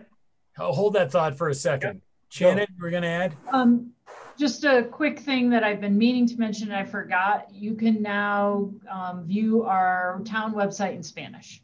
So Oh, Haley great. worked with our vendor and she got that rolled out. It's been actually probably about a month um, or so now, but we're super excited that people can take advantage of that. That's great. And I will be tuning in at the um, diversity task force meeting just to say hello or social equity to say hello on Thursday and just say thank you to your new crew. Dennis, you were going to add. I did. I forgot to tell you that the BHA did get, they were successful in getting their second round of PPP money, and that was just shy of ninety thousand dollars. So That is outstanding. Done. Excellent. Um, workforce housing, anything to add, Jeffrey and Dick? we had a meeting today and uh, there's some things in the uh, kind of in the works, but uh, I'll throw it to Dick. He did, hasn't got a lot of FaceTime on this meeting. We we had some great discussions, um, updates um, on Alta Verde. We we had discussion on um, housing helps and buy downs, and um, got an update on Braddock, um, and and uh, you know had a had a little discussion about maybe some some future kind of broader long term discussions that we will bring back, but that that's that's coming in the future. So Great. good meeting. Excellent. Um, I did have cast at the end of February. Shannon and I attended. Wasn't as much fun as the in-person cast meeting, but there was still a lot of great discussion. Um, you know, like I said before, the the uh, people from the Forest Service from Moab and uh, Crested Butte had really crazy how you know how overrun everybody's trails are. Crested Butte went from what used to be a truly dispersed campground model to uh, actual campgrounds. And they have, uh, he had some pictures through the years of the dispersed camp camping and how it changed the forest and just, you know, trashed, I mean, trash sections of forest, just people just camping there, not necessarily even doing anything wrong. So um, it sounds like that was a pretty good move for them. Um, Rick, do you want to add some or are you rubbing your shoulder? I'm just rubbing. Okay. I saw this. I thought, I Yeah. thought the half hand up. Um, it was a great meeting though. You know, I, I love listening to those guys. The guys from Whistler gave the opening presentation about what they're doing in Whistler. Um, you know, they have a totally different, they got a totally different deal than, than we do compared to, you know, we're very similar to places like Park City, um, you know, obviously Vail. Whistler is a totally different animal. They're like a bunch of stuff jammed into one place. You know, they have they have rain and snow at the same time. They're close to Vancouver. They get a lot of Asian visitors. So very, very different model, but it was really cool to hear. Um, that's such a great group. I'm glad we we belong to it. And I I feel every time I go to that, I feel like, you know, before you go, I feel like our problems are our problems. Then I go to those meetings and I feel like their problems and our problems are all the same and we're all dealing with the same exact stuff every meeting. COVID's the same and everything is the same and they're dealing with the same, you know, problem with tourists and not listening. And it, so it's very heartening for me to go to those meetings. And uh, yeah, it was great. Shannon, anything to add? No, I agree with you. I thought the Whistler presentation was great, and they they really do love the Queen. Um, but the, the, Queen. the guy, the, the presenter was excellent. So yeah, it was good. That second day especially was good. Yeah, he's the the presenter was their mayor. He's hilarious. Yeah, Jeffrey. One more thing. Um, uh, be nice to get ask Haley, and I'm sure she's doing it to push out some uh, information and suggestion about availing ourselves to uh, CAIC, the Colorado Avalanche Information Center. We've had just a spate of of deaths. Utah, Colorado, you know, Opus Hut that we I was there a year ago.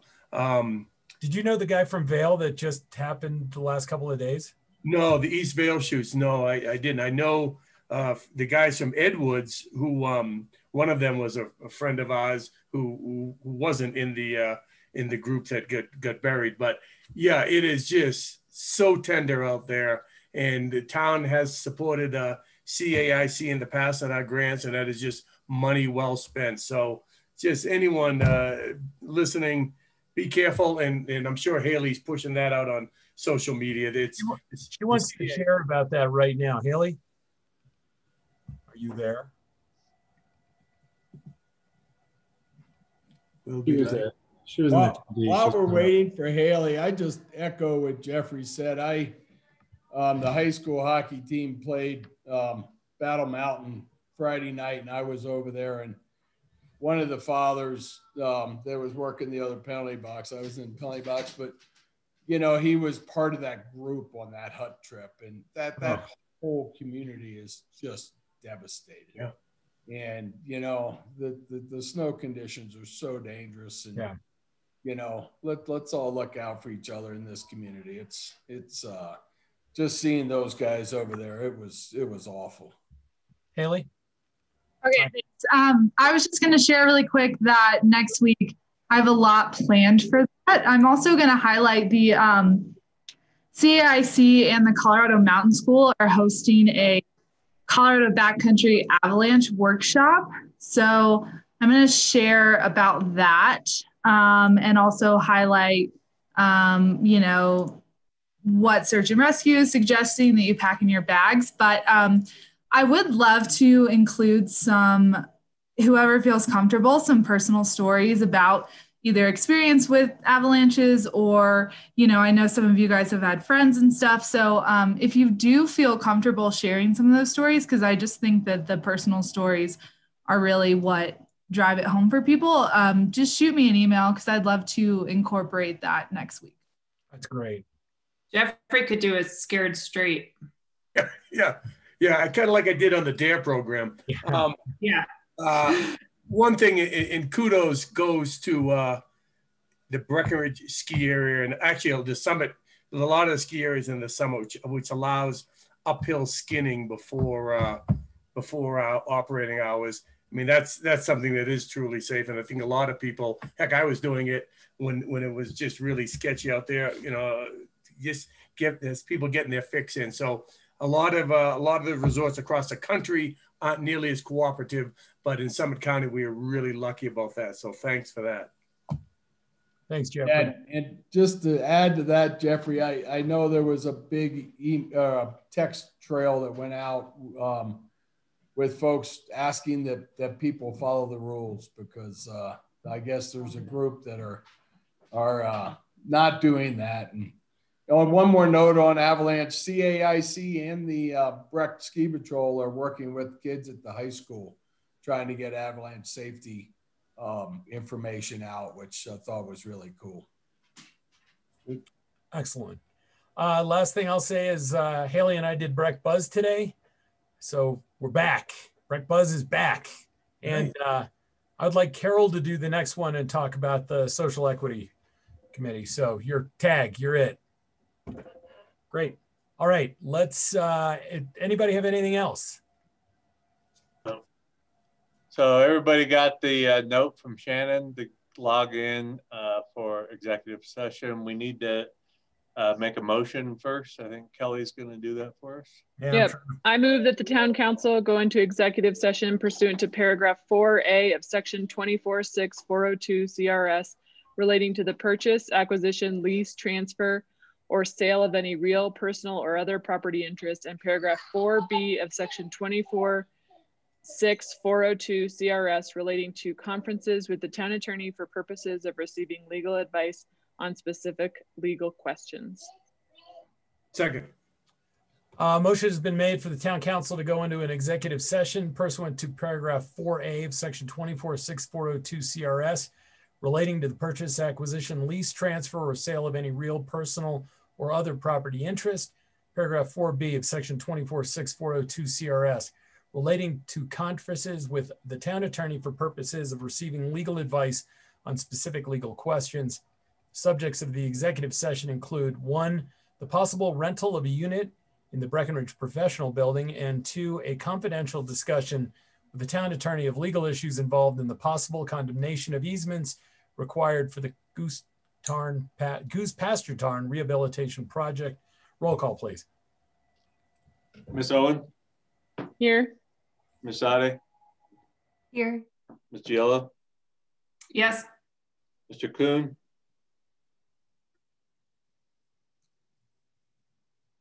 What happened? Hey, he might have gone to exec session without us. God, rookies. Yes. Mr. Carleton? Yes. Mr. Bergeron? Yes. Mayor Mamula? Yes. All right. See you guys in. Uh... I'll give him a talking to.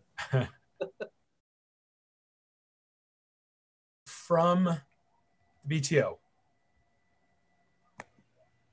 Hello again, Lucy. Hello again, everybody. Um, thanks for having me back. Um, still a lot of good interest in Breck, no surprise. Um, I don't normally talk about our web stats, but we were up 136% week over week.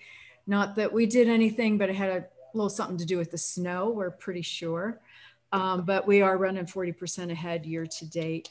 Uh, just a reminder, we don't do a lot of winter marketing. Most of that is driven by the resort and the private sector. So, um, you know, we kind of wait for summer stuff for our work.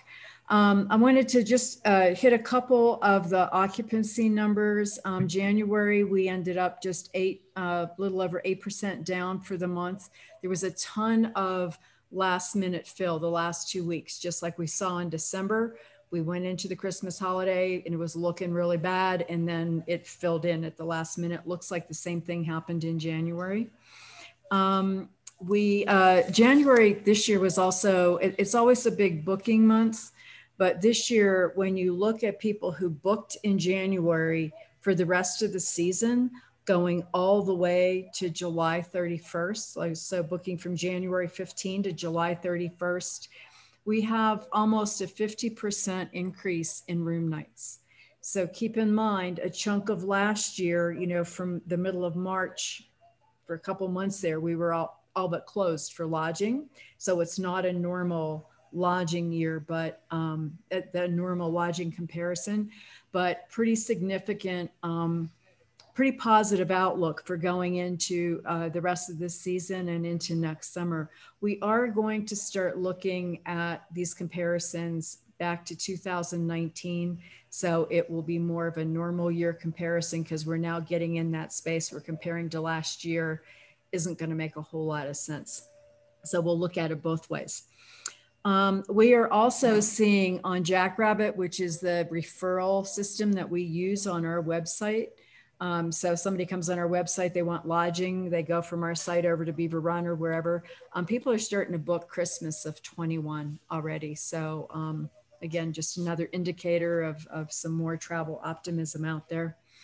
Uh, President's Weekend is uh, looking really strong. Um, it's up a little bit in room nights. Uh, it'll be about 80% occupancy, which is consistent with um, prior years. Um, but February for the month right now is still down about 13%. Um, spring break, uh, looking at the window from March 6th to April 3rd, because that's the spread of the schools that are claiming a spring break. Um, room nights are, are pretty flat to where they were this time last year. So that that's a good sign. Um, the month right now is down 14% for the month of March. But again, that starts to get wonky because we lost the last two weeks of March last year. Um, winter, when you look at the whole season, um, we're looking at um, a decline in occupancy of about 12%, a decline in room nights of about 9% for this point in time. So I think it's pretty decent all things considered. Um, and to your, um, you know, just to go back to what, what you were talking about just before uh, you went into exec session on the messaging, we have, you know, we bring everybody into our safety kind of landing page. So everybody sees that that comes to our site but we don't have a lot of outgoing marketing outside of the the um, the OTA channels. So what we can do to amplify that messaging will be to work with the lodging community and ask them to make sure that information is in the, the um, confirmation correspondence that goes out. I think that's going to be the best place to do that. So we'll get on that. Um, let's see. So we've started our summer marketing. We started that last month, just real light. Um, and we are getting ready for if we are able to move into yellow, that would then change how we've been marketing in, in that we would bring people into whatever page on our website they were looking at. There'd be a little safety message, but they don't have to get stopped at the safety page. So we'll be ready for that if and when that happens. Um, we talked a lot about the resident sentiment survey um, already today, but just want to thank Carol for stepping up on the advisory committee. Basically, everybody who was on the advisory committee the last two times we've done this has re-upped again. And then we have the addition of Carol and then Ann Lowe from BOSAC. So it's a really good group. Um, we've gone through the preliminary um, conversation with RRC. They're working on the draft, which we should have here in about a week.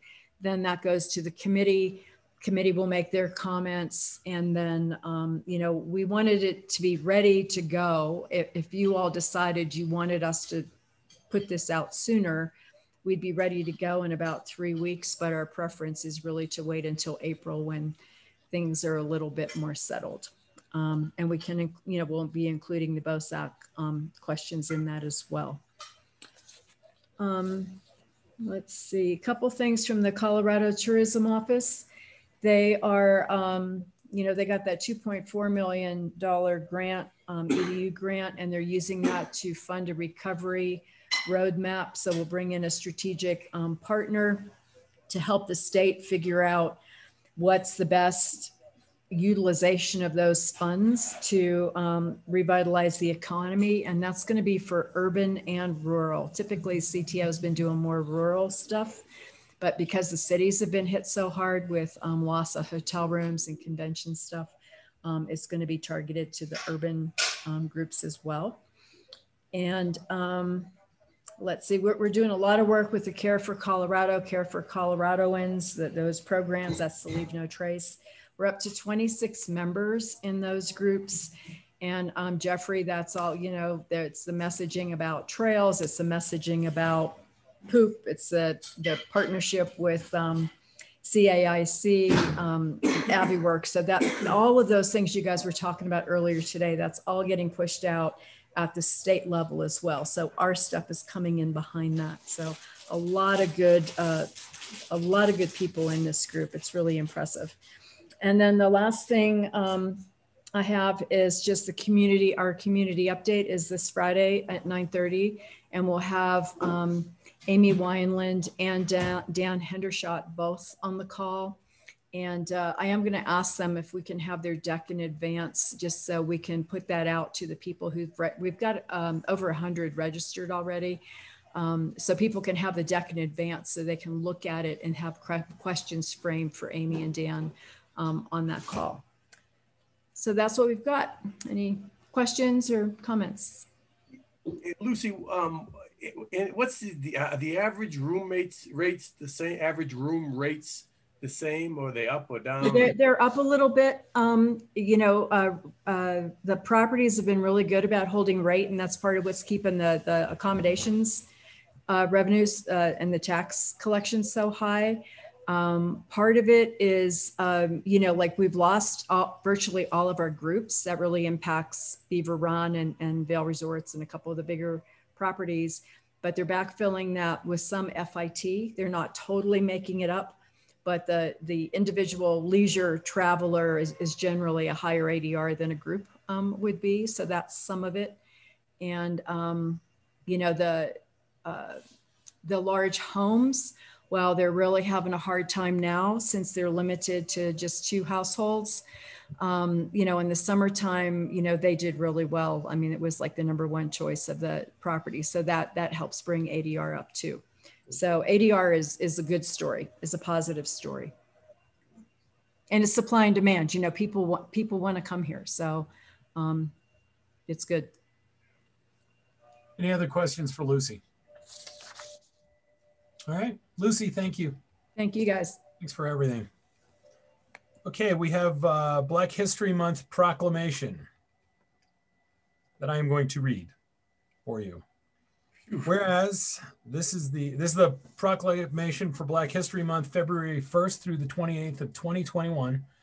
Whereas this is the 95th year of Black History commemoration since its week-long inception in 1926, and Whereas the month of February since 1976 has been designated as a tribute to the thousands of years of Black innovation and struggle, and whereas in honoring Black Americans from our ancestors to now, we celebrate determination, hard work, intelligence, and perseverance in the enhancement of all aspects of society, including business, education, politics, science, the community, and the arts. And whereas as we pay tribute to the heroes sung and unsung of Black, his, of Black American history, we recall the inner strength that sustained millions in bondage.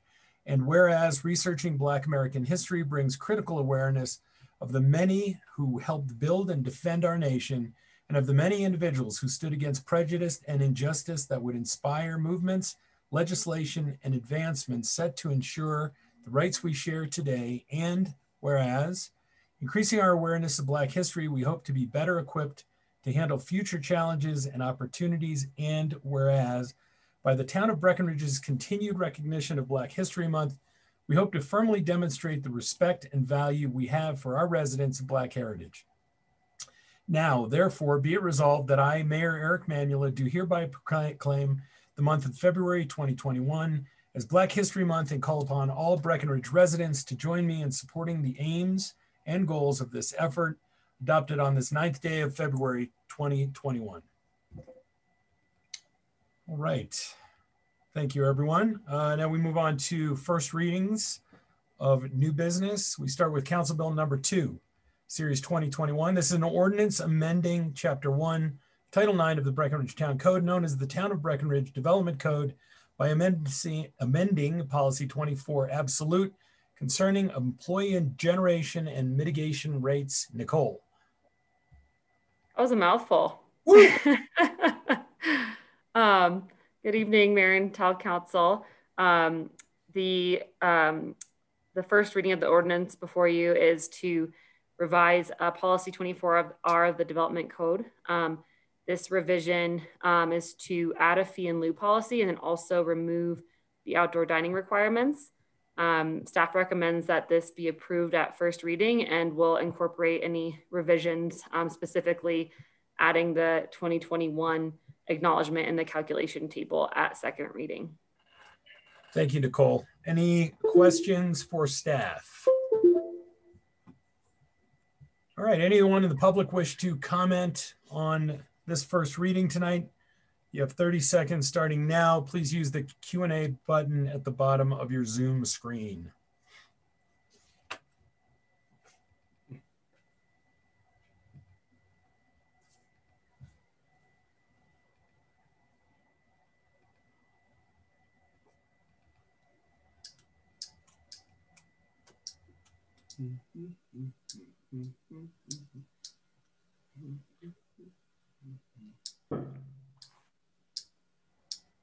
All right, public comment is closed.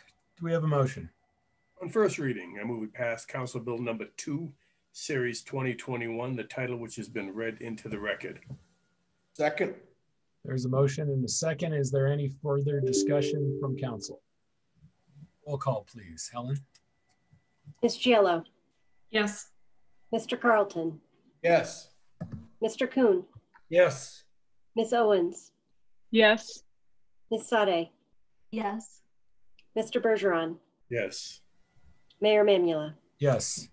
We have a first reading of Council Bill number three, Ser- Council Bill three, Series two thousand and twenty-one. This is an ordinance authorizing the sale of town-owned real property, Lot five, Block one, Parkway Center subdivision, filing number one amended, also known as the Pinewood Apartments, Breckenridge, Colorado. Laurie?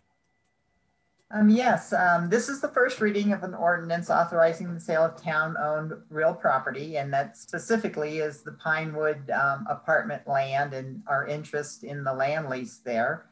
Um, the attached ordinance um, would authorize the town manager to actually sign the purchase and sale agreement.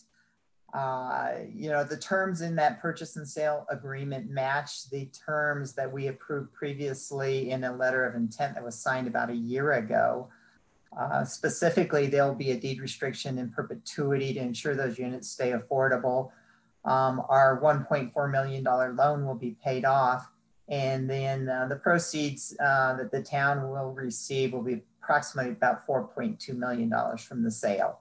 Um, as you recall, these apartments were built in 1996. Um, they've served locals um, with very affordable rental rates since then. And um, we believe that this um, agreement will ensure that they remain affordable um, in perpetuity. There may be some edits to the actual purchase and sale agreement before the second reading, as Tim has more time to really look through that and send some comments. Um, uh, to, to the seller. Um, but we recommend approval on first reading. Appreciate your support. Thank you, Laurie. Are there any questions for Laurie? Is there anyone in the public that wishes to comment on this first reading tonight? You have 30 seconds starting now. Please use the Q&A function at the bottom of your Zoom screen.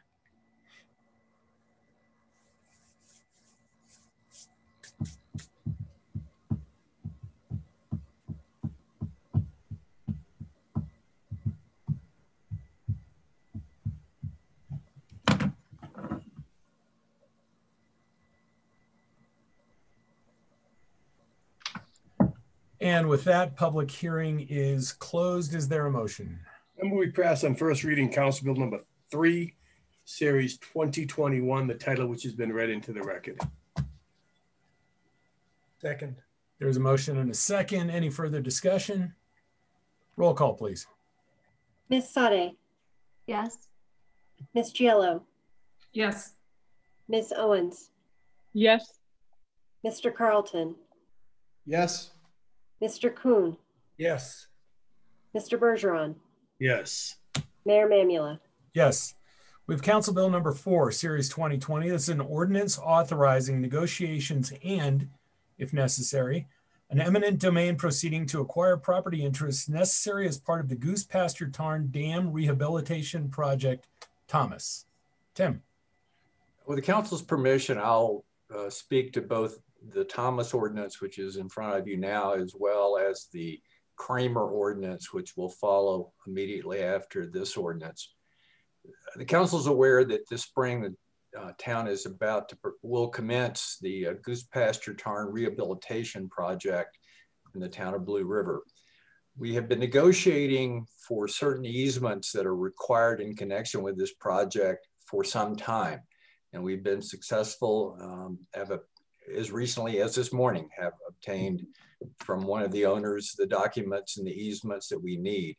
We continue to negotiate with the owners. We are hopeful that between tonight and the second reading of these two ordinances, we will be able to finalize agreements with both Mr. Thomas and the Kramers, who are the subject of the other of the second ordinance.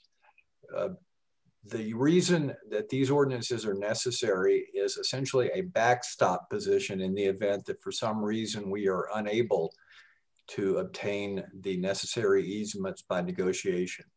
I want to reiterate that it's the position of the town that we do not want to have to go to court on an eminent domain action. It is our strong preference to negotiate acceptable agreements, but there's no assurance that that can be done until it's completed. Um, so it's my recommendation that the council uh, adopt both this ordinance and the Kramer ordinance, which is following uh, on first reading with the understanding that we will continue at staff level to try to resolve both of these matters before second reading in two weeks. Thank you, Tim. Any questions for Tim? Any of the public wish to comment on this? Use the Q&A function. You have 30 seconds.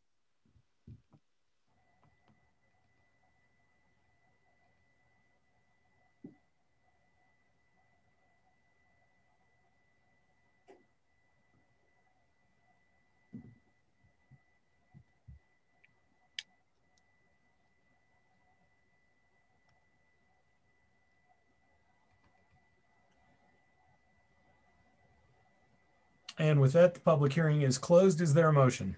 We pass on first reading, Council Bill number four, Series 2020, the title which has been read into the record. Second. There's a motion and second. Any further discussion?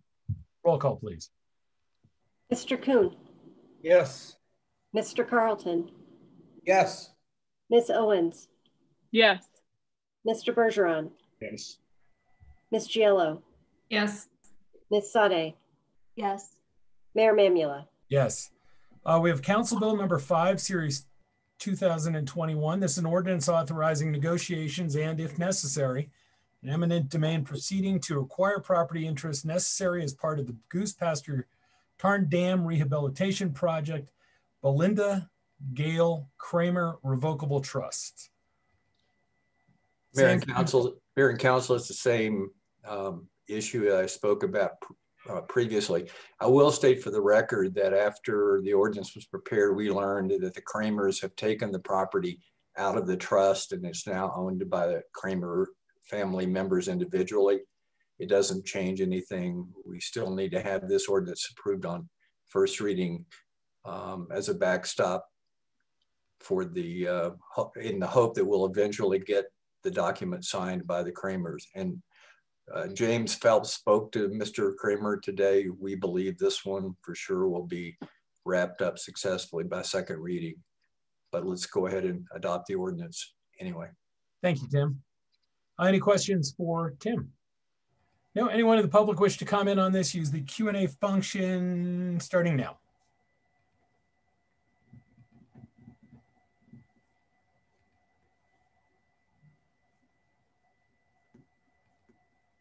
Uh, and I, I, guess I'll remind uh, anyone watching that what we're trying to do if that dam breaks, it's an eight foot current of water that will run down Main Street, Breckenridge, and maybe get to my house. It's not getting close to your house. It's going, all going in the basement. We're permeable. all right, that's it for the public comment. Is there a motion? On first reading, I move we pass Council Bill number five, Series 2021, the title which has been read into the record. There is a motion. Second. And a second. Is there any discussion? Roll call, please. Mr. Carleton. Yes. Ms. Owens. Yes. Mr. Kuhn. Yes. Mr. Bergeron. Yes. Ms. Gigliello. Yes. Ms. Saade. Yes. Mayor Mamula. Yes. Uh, we have a resolution. This is resolution number three, series 2021. This is a resolution approving an amendment to amend to amended and restated promissory note. This is Breckenridge Nordic Center LLC, Colorado Limited Liability Company. Brian. Mr. Mayor and Council, if approved, this resolution will put into effect an amendment to the Breckenridge Nordic Center loan agreement which will effectively lower the interest rate for the remainder of the term from 4% to 3%. We are suggesting approval of this resolution in an attempt to help the Breckenridge Nordic Center with the hardship they've experienced related to COVID 19. similar to what other businesses have experienced as well. Thank you, Brian. Any questions for Brian? No, anyone in the public wish to comment on this resolution, please use the Q&A starting now. You have 30 seconds.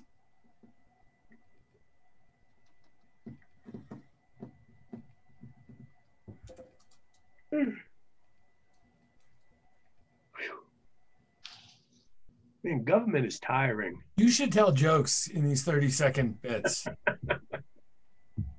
Uh, I- I've got one.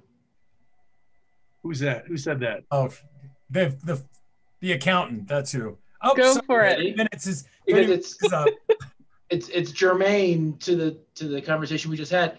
What did the fish say when he when he ran into a concrete wall? Damn. Oh, I know. Fellow comedians. Well done. All right, with that, I'm going to close the comment section, maybe permanently. Is there a motion? I move we pass resolution number three, series twenty twenty-one, a resolution approving an amendment to amend and restate uh, the promissory note to the Breckenridge Nordic Center LLC, a Colorado limited liability company. Second. There's a motion and a second. Any further discussion? Roll call. Mr. Kuhn, Yes. Ms. Owens, Yes. Mr. Bergeron, Yes. Ms. Saade, Yes. Ms. Gigliello, Yes. Mr. Carleton, Yes. Mayor Mamula. Yes. Uh, we do have a town project tonight for a public hearing. This is the McCain Pond fill and drainage improvements. Chris Kulik will walk us through this quickly. All right, thank you, uh, Mayor and Council. Uh, This is essentially uh, the third installment in the Alta Verde trilogy. And um, it's really just trying to provide full transparency to the type of um, site work we're to do associated with that workforce housing project, particularly the pond fill that is uh, occurring on the McCain site. Um, this was contemplated during the master planning of uh, the McCain parcel, so it shouldn't be a, a huge surprise to anyone. But having said that, we wanted to make sure that that um, it was announced to the community, and um, the the project will also there. There's a lot of fill that will be utilized uh, to bring the site um, out of the floodplain. This was also contemplated during the original town project hearing. Uh, most of it will be from the existing site, um, rock sifting and potentially rock crushing. Um, if there are any larger rocks uh, discovered on site, uh, may need to be uh, utilized. Um, most of the fill will come from uh, where the foundations are being dug uh, for the, the building sites. So that will reduce truck traffic uh, for importing fill. Most of the material will be from on site. So um, this was noticed um, in accordance with our town project ordinance and reviewed by uh, the planning commission last week and uh, which got uh, six votes in support of uh, approving this town project and no votes against. Uh, with that, I'll take any questions. Thank you, Chris. Uh, questions for staff? How long will this take, Chris? I think most of the site work is to be completed in June and July of this year, is my understanding. Other questions? Uh, Does anybody in the public wish to comment on this public project? You have 30 seconds. Use the Q&A function at the bottom of your screen. We need a big clock on the screen that jumps up when we do this. Make it go quicker for everybody. I usually count in my head like 1001, 1002, 1003. Where are we at right now? Uh, now you interrupt me. I got to start over. That's why we don't do it that way.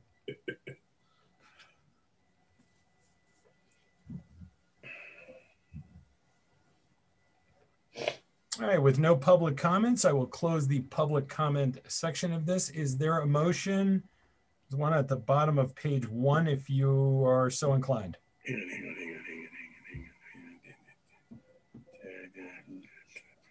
Uh,